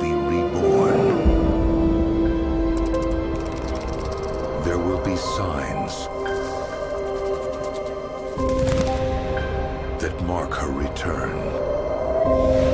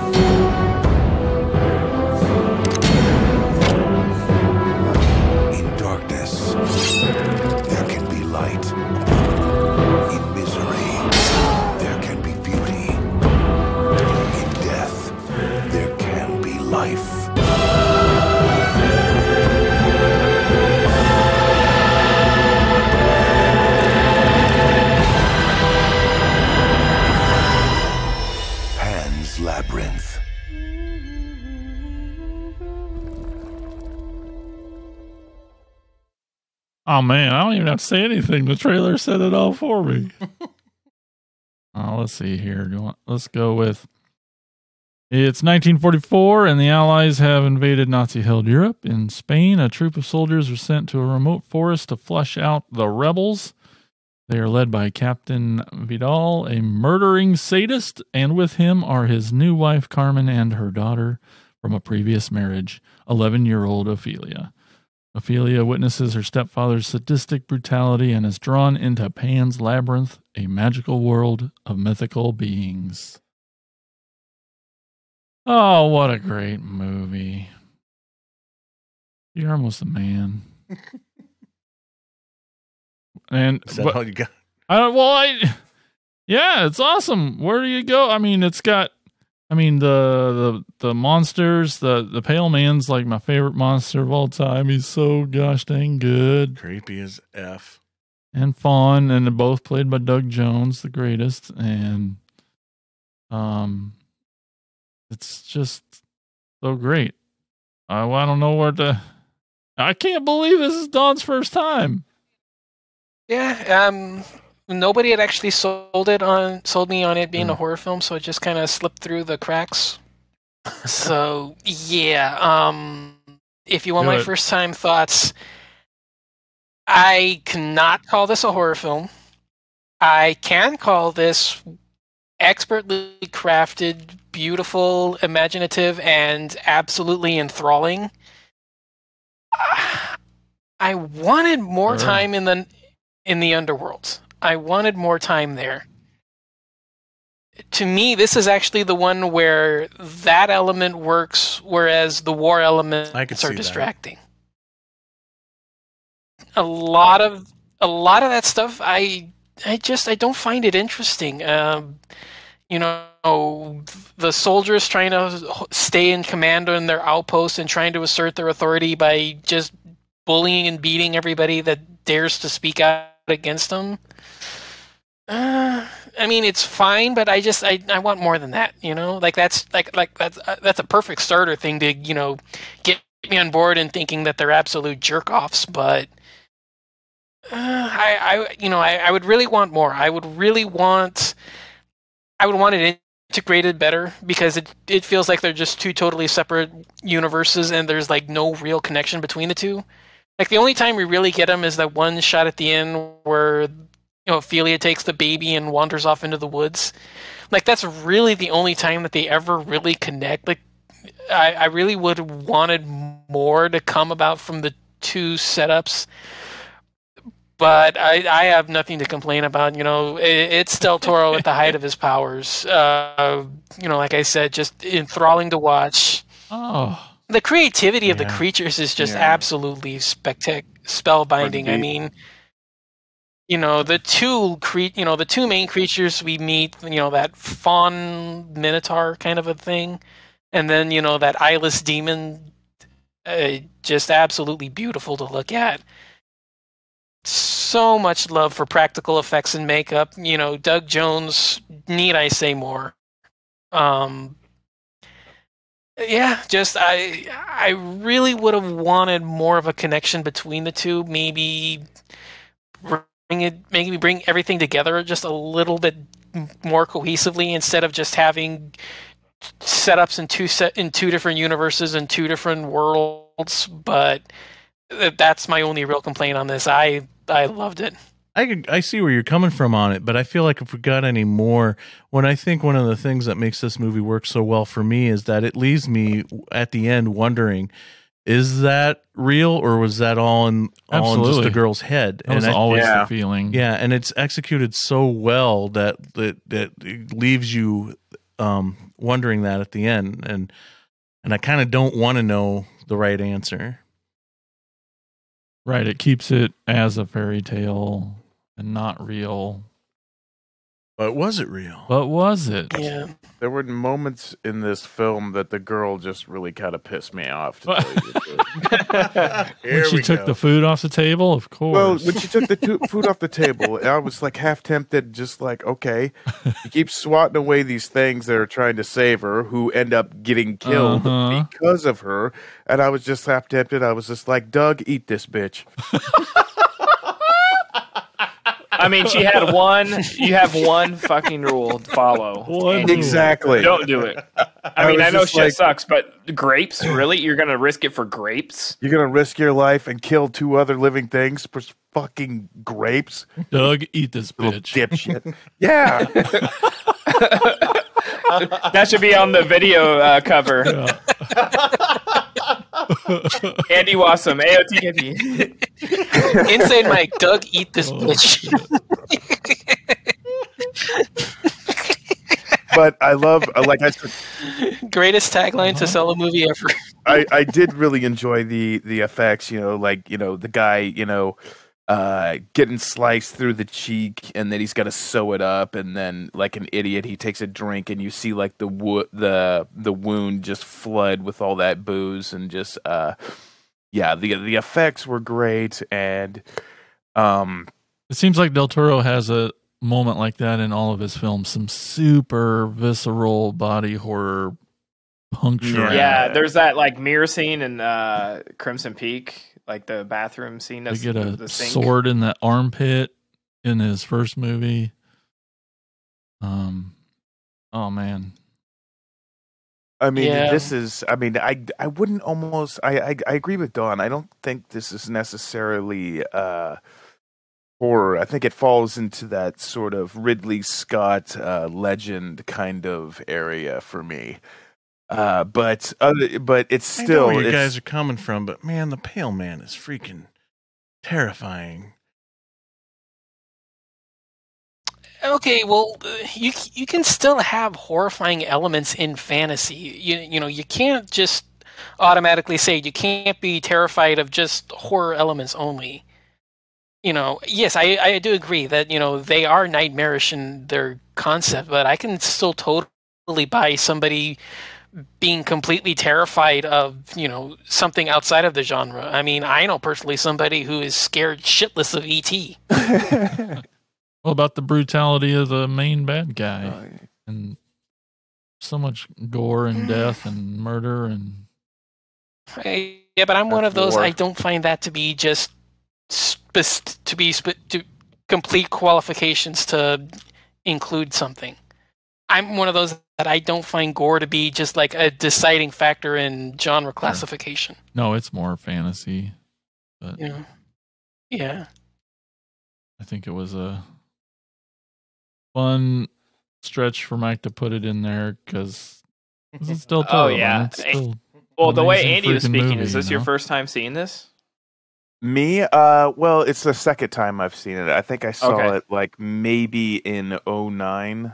I think. I mean, I own it. I watched it once, and I probably was mad that the girl girl didn't get eaten, so I just put it back on the shelf.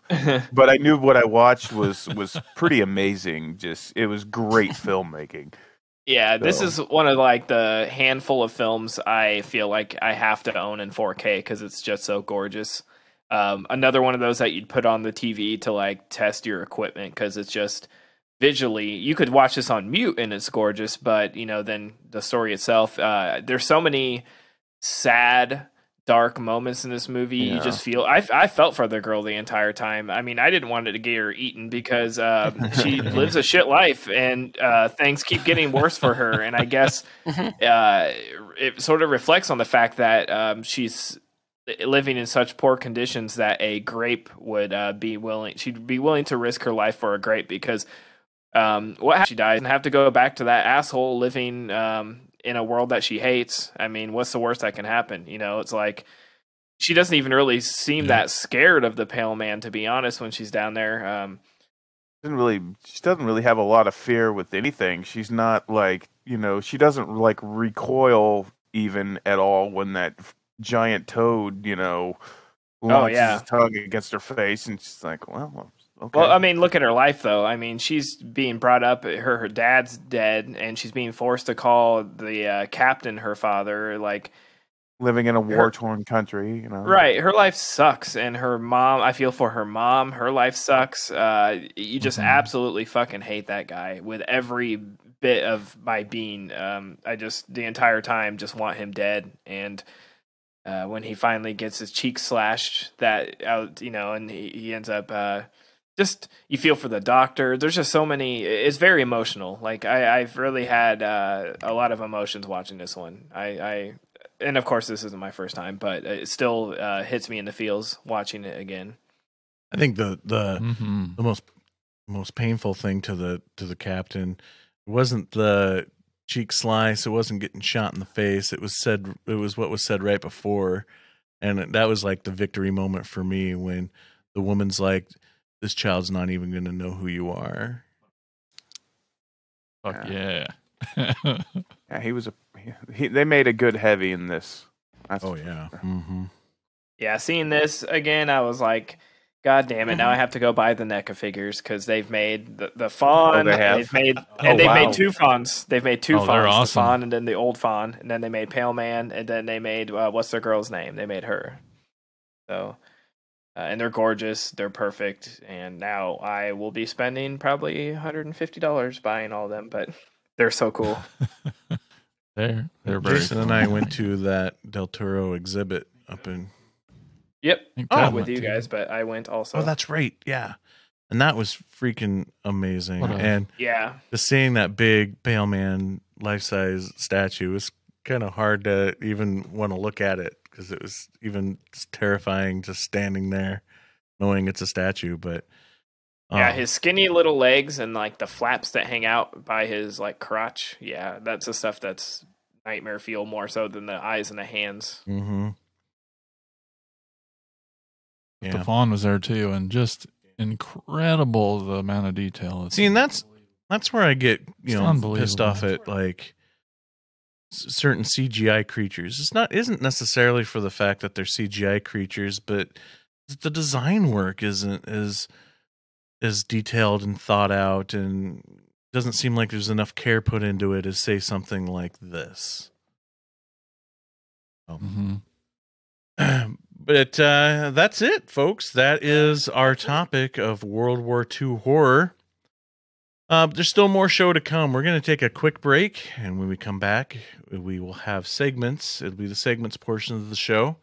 Um, but you know, before oh, before we get in segments, you're going to hear about our podcast network, the podcast network that we did all by ourselves, called the Prescribed Films Podcast Network. Dozens of shows on the network of all shapes and shapes and sizes. And you can check them out at the P- thepfpn.com. We'll be right back.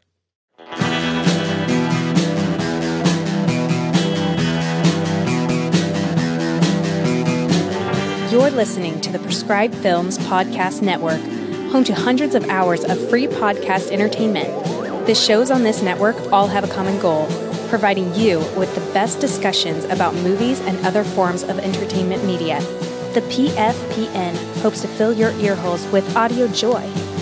Visit our website with links to all the other amazing shows at www.thepfpn.com.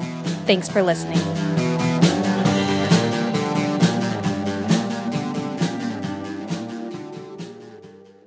It is time for segments here on Attack of the Killer podcast. Let's kick it over to Jason with shout outs. It's time for Shout outs!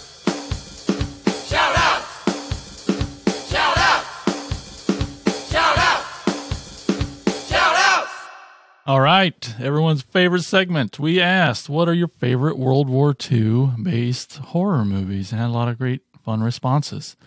Up first on our Facebook page, we got Benjamin Chi. He says Shockwaves, one of the first WW2 Nazi zombie genre films, although the movie itself was set in the 70s. And also Pan's Labyrinth, which is set in Francoist Spain, 1944. Shockwaves. Shockwaves, woo! Up next, we got Don Anelli. He said, "Hey, wait a minute." He's, and that's what he says. He says, "Um, well, there's oh, wait a second. He was here to tell us." so sneaky, that Don Anelli. Then we got Tim Walker. He says, he says, Overlord, The Bunker from 2001, and Shockwaves. Nice. A lot of love for Shockwaves. That's great. Yeah.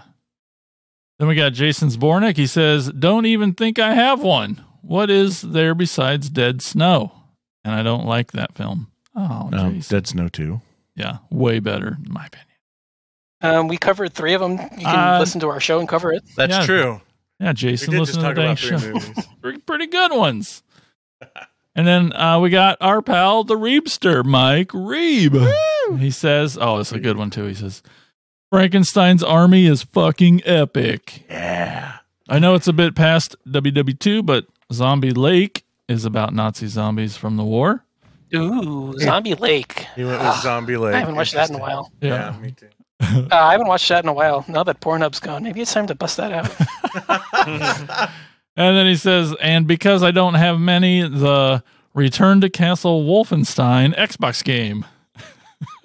Nice. Yeah, well, I always thought that uh, Overlord was kind of a Wolfenstein inspired Right. type movie. Anyway, over on the group edition, uh, our group on Facebook, we got Jacob McLaughlin. He says, I thought the recent film Overlord was a lot of fun. It's Saving Private Ryan meets Reanimator, and it works. That's pretty good. Hey, we got our pal Izzy Sutton. Izzy says, Nice. Izzy, what's up? Overlord was cool. Really dug Frankenstein's army and the bunker and Below as well. Oh, don't know that one. Below. Then we got attacker Brett Royer. He says Dead Snow was pretty good. Still haven't seen the sequel. It's way better. And he says I'm lobbying for Apparently. a Nazi movie. Anyway, uh, Overlord was awesome. Below is super underrated. A submarine horror flick written by Darren Aronofsky and with Zach Galifianakis in it. What? Oh, Mhm. si- Okay, we sign gotta watch this up. now. I know. Gosh dang, how we? Uh, it, it's kind of borderline. It's even less of a horror than Pan's Labyrinth is.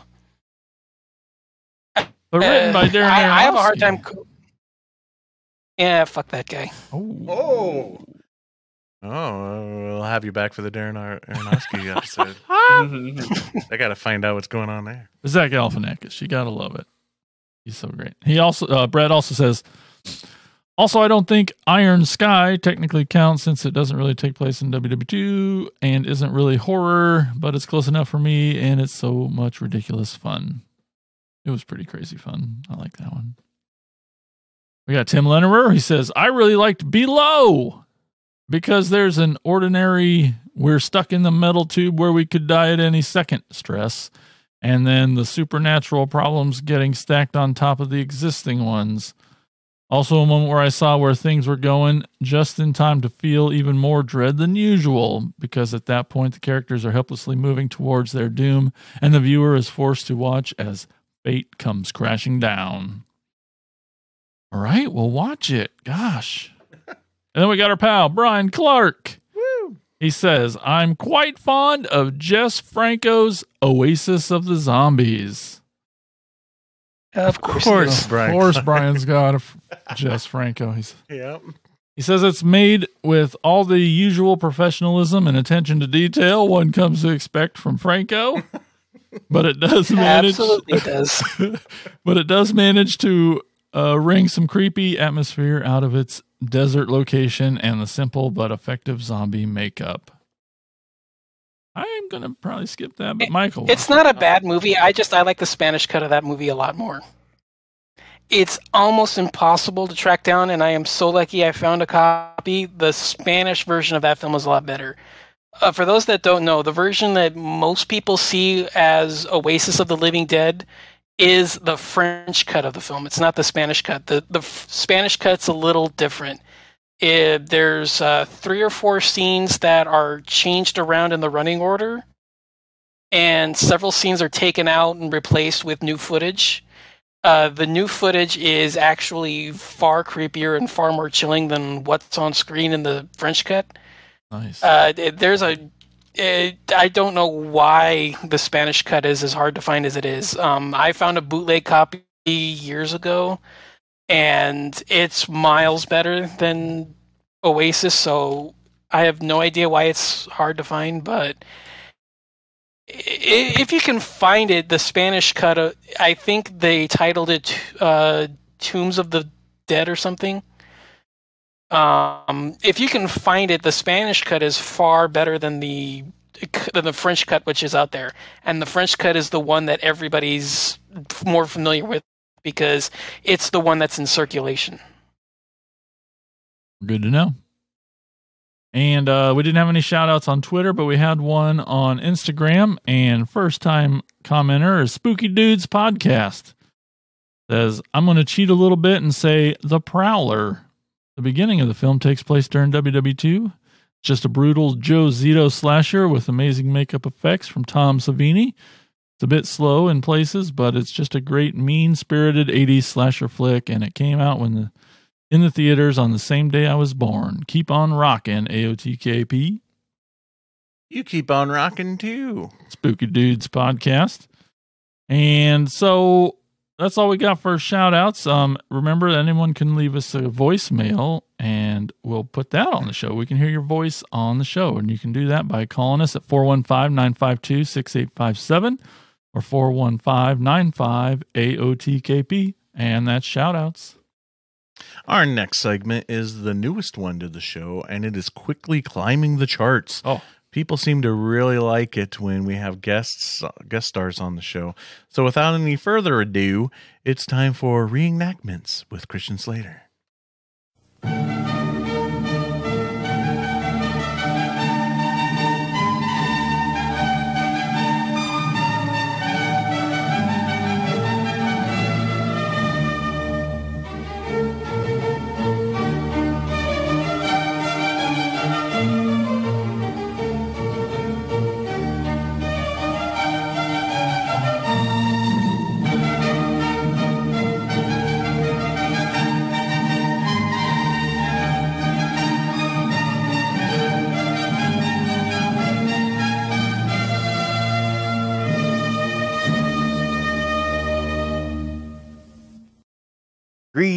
And salutations, and welcome to another episode of Recasting with Christian Slater.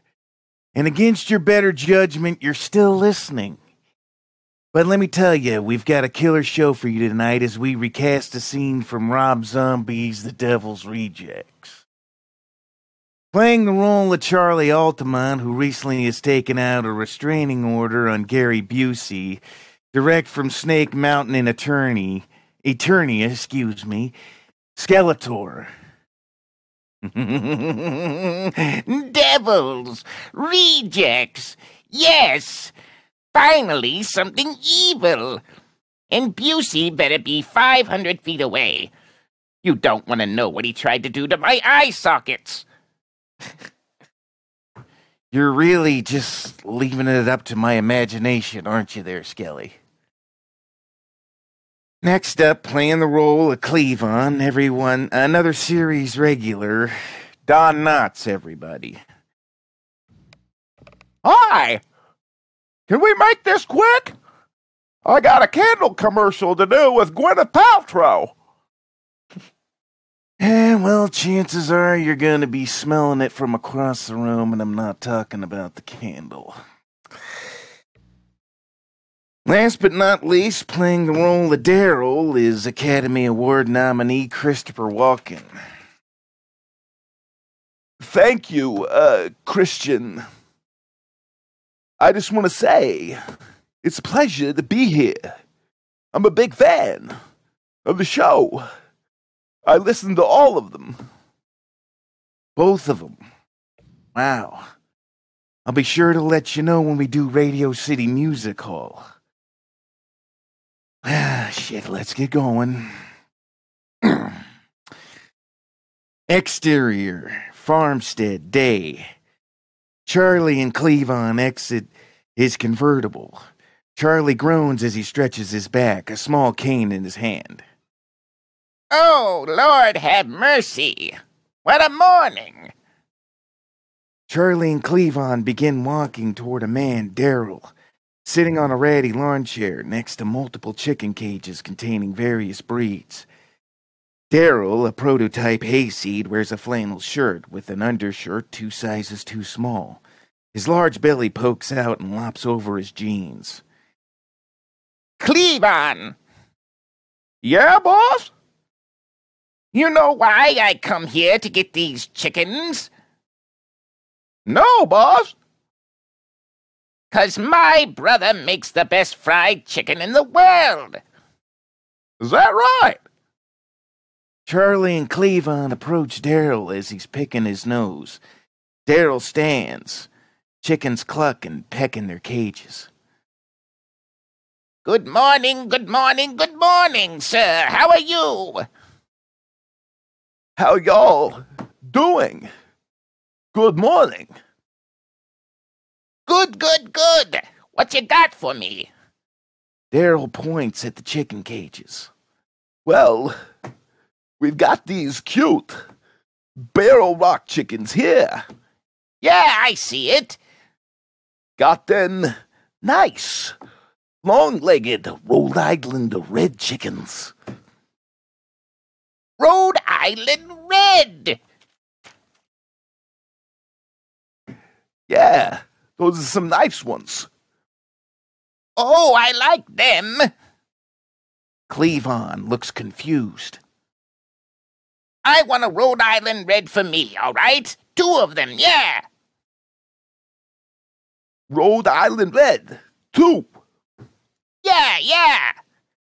Daryl looks down at the chickens, conflicted. Now, y'all ain't planning on fucking these chickens, are you?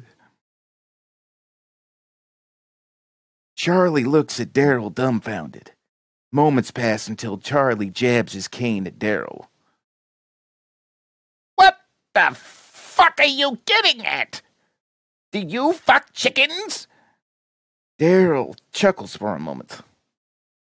Well, I have thought about fucking me some chickens before. If you want a good if you want to have a good time and you need some pussy, you can cut that chicken's head off and stick your dick in the ass of that chicken. And that goddamn chicken will go crazy on your ass and go caw. Cleavon looks off to the side, disgusted. Are you saying I would cut off a chicken's head, put my dick in it, fuck it, and go ah? Are you accusing of me of fucking a chicken, motherfucker? Daryl recoils, nervous, puts his hands up. No, I ain't calling you a chicken fucker. But your boy over there looks sexually frustrated, and I don't approve of chicken fucking. You hear what he ca- You hear what he called me, boss? I ain't no chicken fucker. He called me a fucking chicken fucker. My mistake. Go back and grab the fucking chickens, Cleavon. Cleavon mutters, grabs the chicken cages, and begins to load them in the back of the convertible. Here, here's five. Charlie slaps a five dollar bill in Daryl's hand. Appreciate it. Thank y'all. He's the chicken fucker! Cleavon places the last cage in the convertible. That's all right. Put it back there. Next time we go someplace else. Daryl shakes his head in disgust as he dri- as they drive off. We ain't ever buying chickens from him again, boss. I know, I know. You inbred? Inbred? And scene. Thanks for tuning in to Recasting with Christian Slater. No animals were harmed during the production. And as always, we ask for the chicken's consent, because Don's a method actor. Stay tuned for Insane Mike's Hall of Fame or picks or whatever.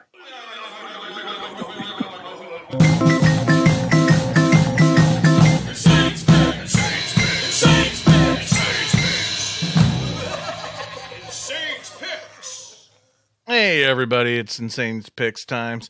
I want to uh, give a special thanks out to our pod- podcast brother, Brian Clark, and attacker Brett Royer uh, for commenting on the uh, Insane Picks Hall of Fame. They seem to be really enjoying it. So thank you very much for letting me know, and I will continue forth with it. Hopefully, this particular episode we will will live up to the others. So, for this inductee to Insane's Picks Hall of Fame is a filmmaker that I love, whose movies they're not very good, even though even though I love them, but uh, they should go down. But he should really go down in film history as the filmmaker with the most interesting film titles of all time, with such films as Wild Guitar. Lemon, Lemon Grove Kids Meet the Monster, Rat Pfink a Boo Boo, and his most famous film, The Incredibly Strange Creatures Who Stopped Living and Became Mixed Up Zombies. That's right, the inductee to Insane's Picks Hall of Fame this time, the legendary Ray Dennis Steckler. Ray Dennis Steckler was born in Reading, Pennsylvania, where he had a love for movies starting at a very young age. By the time he was 15, he received an 8 millimeter home movie camera from his stepfather, and the urge to make his own movies had begun. Ray served three years in the United States Army from 1956 to 1959. He was an Army photographer and served in Korea. Once discharged, Steckler and a, fr- and a friend drove to Hollywood, California to enter into the film industry. Steckler worked as a prop man before becoming assistant cameraman on the film World's Greatest Sinner, directed by and starring Timothy Carey. When the initial director of photography was fired, Steckler stepped up and to replace him. Continuing to work in cinematography, Steck- Steckler require, acquired a union card and established himself at major studios, including Universal Studios themselves. The story goes that one day Ray was fired for almost knocking an A frame onto Alfred Hitchcock. After, after that, Steckler turned his attention to the B movie circuit. He began working with Arch Hall Sr. Uh, and his production company, Fairway Pictures. Steckler started as cinematographer and sometimes actor in films, including Arch Hall's uh, the Arch the Arch Hall Senior film that he made for his son Arch Hall Jr. called Eegah. After that, Steckler made his directorial debut in the Arch Hall Jr. vehicle Wild Guitar. When Ray was recasted as the heavy at the last minute in Wild Guitar, he took on the screen name and thus Cash Flagg, Ray Dennis Steckler's acting persona, was born. After working for Arch Hall, he began making his own films, and his first was the film that he is most well known for The Incredibly Strange Creatures Who Stopped Living and Became Mixed Up Zombies. The film stars Cash Flagg and his then wife, Carolyn Brandt. Uh, filmed on a budget of $38,000, the film was photographed by cinematographer Joseph Mascalini uh, with then newcomers, now Hollywood cinematog- cinematographer legends Laszlo Kovacs and Vilmos Zsigmond. Hoping I'm somewhere close on that. As first time camera operators. Steckler took took creatures on the road himself and made it a success under a number of titles, including The Diabolical Dr. Voodoo and The Teenage Psycho Meets The Bloody Mary. Strange, Incredibly Strange Creatures is famous for its odd and extremely long title, but also is a self proclaimed as the first ever monster musical. Steckler's next film in his was his answer to Psycho entitled The Thrill Killers, released in 1964. The film marked the first effort between Steckler and Ron Haydock. Ron would act, write songs, and even co write several of the movies with Ray until Ron's death in 1977.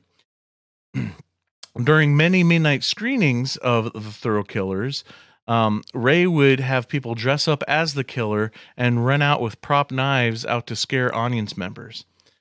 Ray Dennis Steckler continued to produce a number of low budget, but um, uh, a number of low budget films, which should, which sh- which soon attained cult status, including one of my favorites, Rat Pfink a Boo Boo, which is a spoof on Batman. Uh, the movie stars starts out with hoodlums terrorizing an innocent woman, then becomes the story of our heroes Rat Pfink and his sidekick Boo Boo as they are guests of honor in a parade. Eventually, it comes back to the woman and the hoodlums at, as Rat Pfink and Boo Boo take out the bad guys, but not before the woman is then kidnapped by Korg the gorilla, and then these mighty superheroes must end up freeing her from this monstrous gorilla. I love this movie because it is the most obvious example of Ray just kind of making it up as he goes along. It almost has my favorite. It, it also has some of my favorite and actual funny lines in the movie, such as Remember, Boo Boo, we only have one weakness. What's that, Rat Ratfink? Bullets. The film was originally titled Rat Pfink and Boo Boo, but when the opening title sequence was being made, they accidentally left out the N and the D. So they just ended up changing the title of the movie to Rat Pfink a Boo Boo. Ray Dennis Steckler's films often come off as amateurish, uh, but it really boiled down to him wanting to make his films his way. Ray would rarely work with a full script if he had any script at all. He also was notorious for hating to record sound, so many of his films were dubbed in post or would contain very little dialogue and mostly voiceovers, or even no dialogue at all. Steckler would later go on to make low budget softcore films throughout the late 70s and early 80s. And by the late 80s, Ray opened Mascot Video Store in Las, in Las Vegas. After going to Vegas myself many, many times over the years, I had planned to find the store only to learn that Ray had sold it in 1995. Never got to see the videos. Uh, Ray continued to make films all the way up until 2009. Sadly, Ray passed away in January of 2009. Though never achieved any Hollywood success, don't know if Hollywood would know what to do with Ray, he achieved his own success getting to create his art the way he wanted. And that is why I induct Ray Dennis Steckler into this episode's Insane's Picks Hall of Fame. So that's it, folks. That concludes this episode of Attack of the Killer podcast. One more very special thanks to Don for joining us this episode. Don, woo! Yeah, thank you. Absolutely, guys. Always a pleasure to be here. Pleasure Thanks. having you here, man. Yeah, tell everybody again where they can find your business. Okay, so um, like I mentioned at the beginning of the show, um, I do have several podcasts. Um, my main show is called is a uh, it's kind of an odd thing to say my main show, but um, it's my weekly show. It's called No More Room in Hell presents Fresh Cuts, which is a weekly look at the biggest release of the previous week. So anything on streaming, VOD, uh, should be theatrical, but um, well, you know how that goes at the moment. Uh, basically, it's uh, you know watch a movie, record it, get together, and go from there.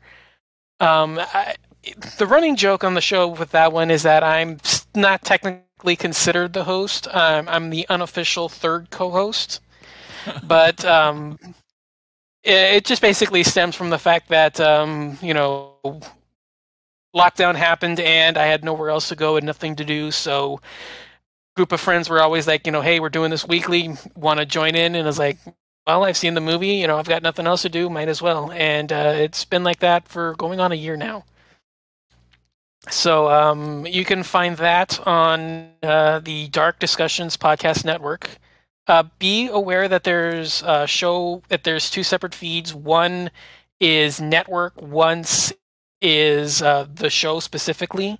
Uh, you'll want the network one, which will have more shows on it. Be- other than otherwise, you'll just get dark discussions and not like dozens of other shows, um, including my other secondary show, which is uh, recently renamed the Graveyard Shit Podcast. That's the actual name. uh, we used to be called Bay of Blood, but uh, we recently renamed ourselves Graveyard Shit.